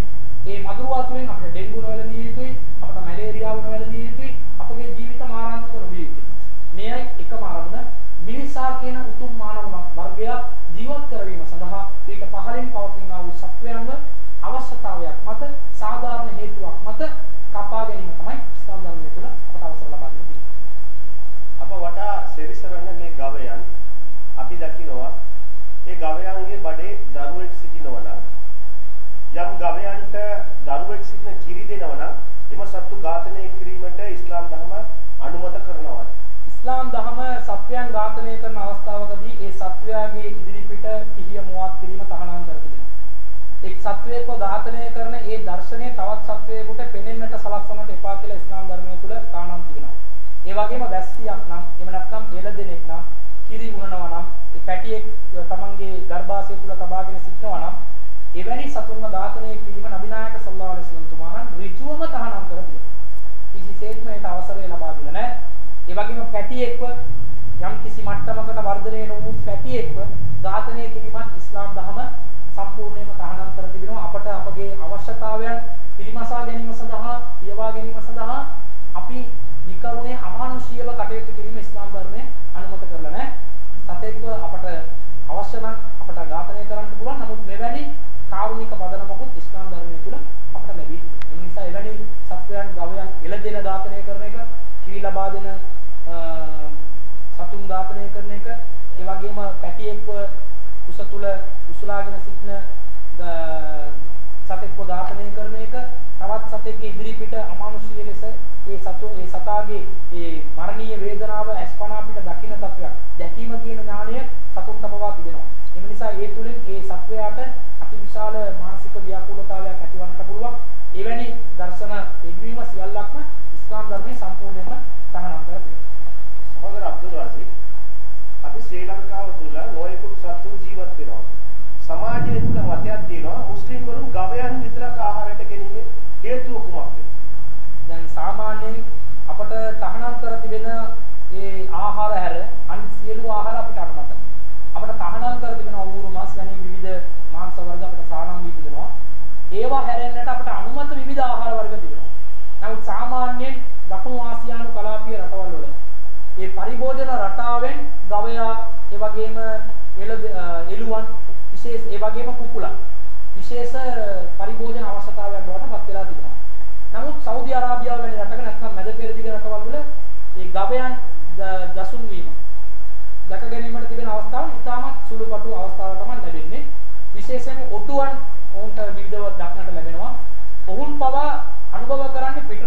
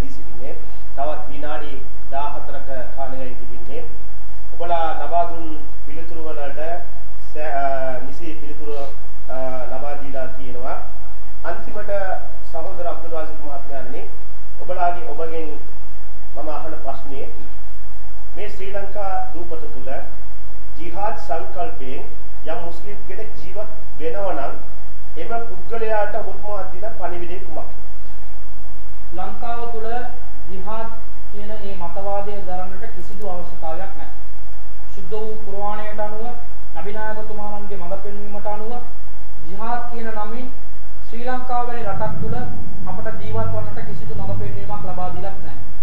ජිහාද් කියන්නේ මුස්ලිම් රටක් තුළ ඉස්ලාමීය රාජ්‍ය පාලනයක් පවතින අවස්ථාවකදී ඒ රජයේ නිල හමුදාව රජයේ විසින් පත් කරපු නිල හමුදාව වශයෙන් ක්‍රියාත්මක කළ යුතු කණ්ඩායම තමයි ජිහාද් කණ්ඩායම කියන්නේ. සිවිල් පුරවැසියන් අවි ආයුධ සන්නද්ධව රජයකට විරුද්ධව හෝ මුස්ලිම් නොවන ජනතාවට විරුද්ධව හෝ අවි ආයුධ අමෝරාගෙන සටන් කිරීම නෙවෙයි ජිහාද් කියලා කියන්නේ. එම නිසා ඉස්ලාමීය රටක් තුළ ජිහාද් කියන ඒ ඒ කාර්යය සිදු කරන්නට අවසරය ලබා දී තිබෙන ඒ පිරිස හැර වෙනත් ඕනෑම රටක යම්කිසි කෙනෙක් ජිහාද් මතවාදයෙන් ජීවත් වෙනවා නම් ඒ පුද්ගලයා සුද්ධ වූ කුර්ආනය ප්‍රතික්ෂේප කරන පුද්ගලෙක්. නබිනායකතුමාණන්ව ප්‍රතික්ෂේප කරන පුද්ගලෙක්. එම නිසා එවැනි වැරදි මතවාද වලින් අපි සියලු දෙනාම ඉවත් විය යුතුයි. විශේෂයෙන්ම ලංකාවේ ක්‍රියාත්මක වන ඉස්ලාමීය සංවිධාන මේ පිළිබඳව සිය වගකීම බාර ගන්නට ඕන. තම තමන්ගේ සංවිධාන වටා එක්රොක් වන සියලුම තරුණ තරුණයන්ට නිවැරදි ඉස්ලාමීය පණිවිඩය කුමක්ද කියන එක නිසියාකාරව ලබා දෙන්නට ඕන. සියලු ඒ තරුණ තරුණයන්ව නිසි මඟකට ගෙනෙන්නට ඕන. ප්‍රජාතන්ත්‍රවාදය කියන්නේ ඉස්ලාම් විරෝධී සංකල්පයක් නෙවෙයි. ප්‍රජාතන්ත්‍රවාදය කියන්නේ නබිනායකතුමාණන් ප්‍රතික්ෂේප කරපු සංකල්පයක් නෙවෙයි. මහ ජනතාව විසින් මහ ජනතාව නිය මහජන නියෝජිතයන් තෝරාපත් කරගෙන ආරක්ෂා කර ගැනීම පාලනය කර ගැනීම ඉස්ලාම් විරෝධී සංකල්පයක් නෙවෙයි. ඒ ඉස්ලාමීය ඉස්ලාමීය පාලන ඉතිහාසය තුළ ලබා අ, තිබෙනවා. එවැනි අවස්ථාවන් තිබෙනවා. මහ ජනතාව තමන්ගේ පාලකයන්ව තෝරාපත් කරගෙන තිබෙනවා. ඒ වගේම විවිධ ක්‍රම තුලින් රාජානු ක්‍රමය හෝ ප්‍රජාතන්ත්‍රවාදය හෝ වෙනත් විවිධ ක්‍රම වලින් ඉස්ලාමීය පාලනයක් ඇතිවන්නට පුළුවන්. නමුත් ප්‍රජාතන්ත්‍රවාදී ඉස්ලාම් විරෝධී කියලා අද යම් යම් සංවිධාන උගන්වනවා නම් ඒ ඉගැන්වීම තුළින් තරුණයන් නොමග යන්නට පුළුවන්. මුලින්ම ඉස්ලාමීය සංවිධාන තමන්ගේ ප්‍රතිපත්ති වල නිවැරදි මතවාදයක් ගොඩනගන්නට ඕන. ඒ පිළිබඳව අපි සියලු සංවිධාන වලට විවෘත ඉස්ලාමීය සංවිධාන වලට විවෘත ඇරයුමක් කරන අපත් සමග සම්බන්ධ වෙන්න. ඔබ දරන්නා වූ ජිහාද් සංකල්ප හෝ වෙනත් සංකල්ප පිළිබඳව අපි පවසන මෙම කාරණාවට පටහැනි කරුණක් ඔබ සතුව තිබෙනවා නම් ඒ පිළිබඳව අපි වාද විවාද කරමු නැත්නම් සංවාද කරමු සාකච්ඡා කරමු ඒවා විසඳ ගන්නට ඕන. නැත්නම් මේ අනාගත ලංකාවේ මුස්ලිම් පරපුරට අතිවිශාල අභියෝග වලට මුහුණ දෙන්නට සිද්ධ වෙයි. 30 වසරක කාලයක් පුරාවට ද්‍රවිඩ ජනතාව අතුරින් මතුවුණු ත්‍රස්තවාදය නිසා අහිංසක අසරණ ද්‍රවිඩ ජනතාව නොයෙකුත් වද හිංසා නොයෙකුත් අඩහින් අද අඩන්තේටම් වලට නොයෙකුත් නිදහස සීමාව නිදහස සීමා වීම වලට ඔවුන්ට මුහුණ දෙන්නට සිද්ධ වුණා වගේ මුස්ලිම් ජන සමාජයටත් ඉදිරි අනාගතයේදී නොයෙකුත් වද හිංසා වලටත් නොයෙකුත් අඩන්තේටම් වලටත් මුහුණ දෙන්නට සිද්ධ වෙයි. එවැනි අවස්ථාවකදී මුස්ලිම් නොවන ජනතාවට අපි වෛර කරනත් වැඩක් නැහැ. අපේ අපේ අතින් අපි විනාශය සොයාගෙන අපේ අතින්ම අපි අපේ සමාජය විනාශ කරගෙන ඒ ජනතාව අපි අපරාසින් බලන එක කිසිදු අර්ථයක් නැහැ. ඒ නිසා ඒ තරුණයන්ට නිසිමඟ පෙන්වීමේ වගකීම ඉස්ලාමීය සංවිධාන ලබා ගන්නට ඕන. ඒ වගේම මුස්ලිම් තරුණයන් මෙවැනි වැරදි සංකල්ප වලින් මිදෙන්න. ඔබට යම්කිසි සැකයක් සාංකාවක් තිබෙනවා නම් අපත් සමග සම්බන්ධ වෙලා සුද්ධ වූ කුර්ආනයේ අනුසාරයෙන් නබිනායකතුමාගේ මඟ පෙන්වීම වල අනුසාරයෙන් ඒවා නිවැරදි කරගන්න. එසේ පුනරුත්ථාපනය නොවි මෙම මානසිකත්වයේ යටතේ ඔබ ජීවත් වෙනවා නම් ඔබට සිංහල බෞද්ධ ජනතාව හෝ Hindu ජනතාව හෝ විරුද්ධ වන්නට කලින් විරුද්ධ වන්නේ සිලෝන් තවි ජමාත් සංවිධානයේ කියන පණිවිඩය අපි ඔබ සියලු දෙනාටම ලබා දෙනවා. මේ අපි තරයේ වෙලා දකිනවා. අපි රටේ ආරක්ෂක පද්ධතිය ආරක්ෂා කරන්නට සම්පූර්ණ සහයෝගය පවතින රජයට අපි ලබා දෙනවා. ඒ වගේම ඒ ආරක්ෂක අංශවලට අපි ලබා දෙනවා. ඒ කාලේ මොන රජයක් පැවතියත් ඒ සහයෝගය අපි ලබා දීලා තිබෙනවා රටේ මාන්‍යතාවය භෞමික අඛණ්ඩතාවය ස්වාධීනත්වය සියල්ලක්ම ස්වෛරීභාවය ආරක්ෂා කරගෙන ත්‍රස්තවාදයෙන් තොර ත්‍රස්තවාදී තර්ජන වලින් තොර නිදහස් නිවහල් මාතෘභූමියක් ගොඩනැගීම අපි සියලු දෙනාගේම පරම යුතුයකමක් වශයෙන් අපි සලකන නිසා ඔබ එවැනි මානසිකත්වයක ජීවත් වන එක ඔබේ ජීවිතයට ඔබ සිදු කරගන්නා වූ විනාශයක් වනවා මිස ඒ මුස්ලිම් වරුන් වශයෙන් අපට අනුමත කරන්නට බෑ ශ්‍රී ලාංකිකයන් වශයෙන් අපට අනුමත කරන්නට බෑ එම නිසා ඒ පිළිබඳව මතවාදයන් තිබෙනවා නම් ඒවා නිර්වුල්ව නිදහස් කරගෙන ඒවා මනසින් ඉවත් කරගෙන ස්වාධීන ප්‍රජාතන්ත්‍රවාදයට ගරු කරන සිවිල් පුරවැසියෙක් වශයෙන් ඔබ මෙම මාතෘභූමියට ප්‍රේම කරන පුද්ගලයෙක් වශයෙන් පරිවර්තනය වීම තමයි ඔබ සිද්ධ කරගත යුත්තේ. එසේ නොවන්නට මේ ඔබටත් සමස්ත මුස්ලිම් ජාතියටත් අතිවිශාල අභියෝගවන් අභියෝග වලට මුහුණ දෙන්නට සිද්ධ වන ඛේදනීය ඉරණමක් බවට පත් වේ කියන පණිවිඩය තමයි අපේ මුස්ලිම් ජන සමාජයට මෙම අවස්ථාවේදී අපි ලබා දෙන්නේ. සහෝදර අබ්දුල් රාසික් මහත්මයාණනි ඔබට බොහොමත්ම ස්තුතියි. දැන් අපි වැඩසටහන ඉවර කිරීමට කාලයයි. මුස්ලිම් ජනතාවට බොහොමත් සෝදායි පණිවිඩයක් ලබා දුන්නා සහෝදර අබ්දුල් රාසික් මහත්මයාණන්. ඉස්ලාමීය සංවි මුස්ලිම් සංවිධානවන් නායකවරුන් ඔබලා අවධානයෙන් සිටින්න එවන් ජිහාඩ් සංකල්පයේ කවුරු හරි සිටිනවා නම් එම සංකල්පයේ ඉස්ලාම් දහමට ප්‍රතිවිරුද්ධ සංකල්පයක් බව අපි දේශනාවෙන් පැහැදිලි කරලා ඇති. අපේ සිලෝන් තෞහිද් ජමාත් ඒ එම සංකල්පයේ කැඩීමට විද දෙමීමට ඔබේ සංවිධාන වලට උදව් කිරීමට පිණිසම සූදානම්ව සිටින බවත් සහෝදර අබ්දුරාසික් අබ්දුරාසික් මහත්මයා ප්‍රකාශ කර සිටින්නේ. එනම් අපිත් එක්ක ඔබලා එකතු වෙලා සිටීම එකතු වී සිටීමට බෙහෙවත් ස්තුතියි. මෙම පෙනේට පිළිතුරු වැඩසටහන ලබන සතිය නොවේ. ඊළඟ සතිය දෙසැම්බර් මාස 7 වෙනිදා 4 සිට 6 වෙනකම් මුහුණු පොත හරහා ලයිව් ටෙලිකාස්ට් වෙන බව ඔබලාට දැනුවා සිටින්න මේ මෙම මුහුණු පොතේ 0.76යි 0.11.0.03 යන මෙම දුරකථන අංකයට ඔබලාට ප්‍රශ්නය යොමු කරා පිළිතුරු ලබාගත හැකියි කියලා ඔබලාට මතක් කරමින් අපිට මුහුණු පුත හරහා කොමන්ට්ස් මාර්ගයෙන් හෝ ඉන්බොක්ස් වල ඉන්බොක්ස් වලින් හෝ ඔබට ප්‍රශ්නය යොමු කරන්නට පුළුවන්. ඔබලාගේ ඕනම ප්‍රශ්නයකට අපි සුහොඳව උත්තරේ ලබා දීමට සූදානම් බව ප්‍රකාශ කරමින් මම වැඩසටහන නිමා කරගන්නමි. අස්සලාමු අලයිකුම්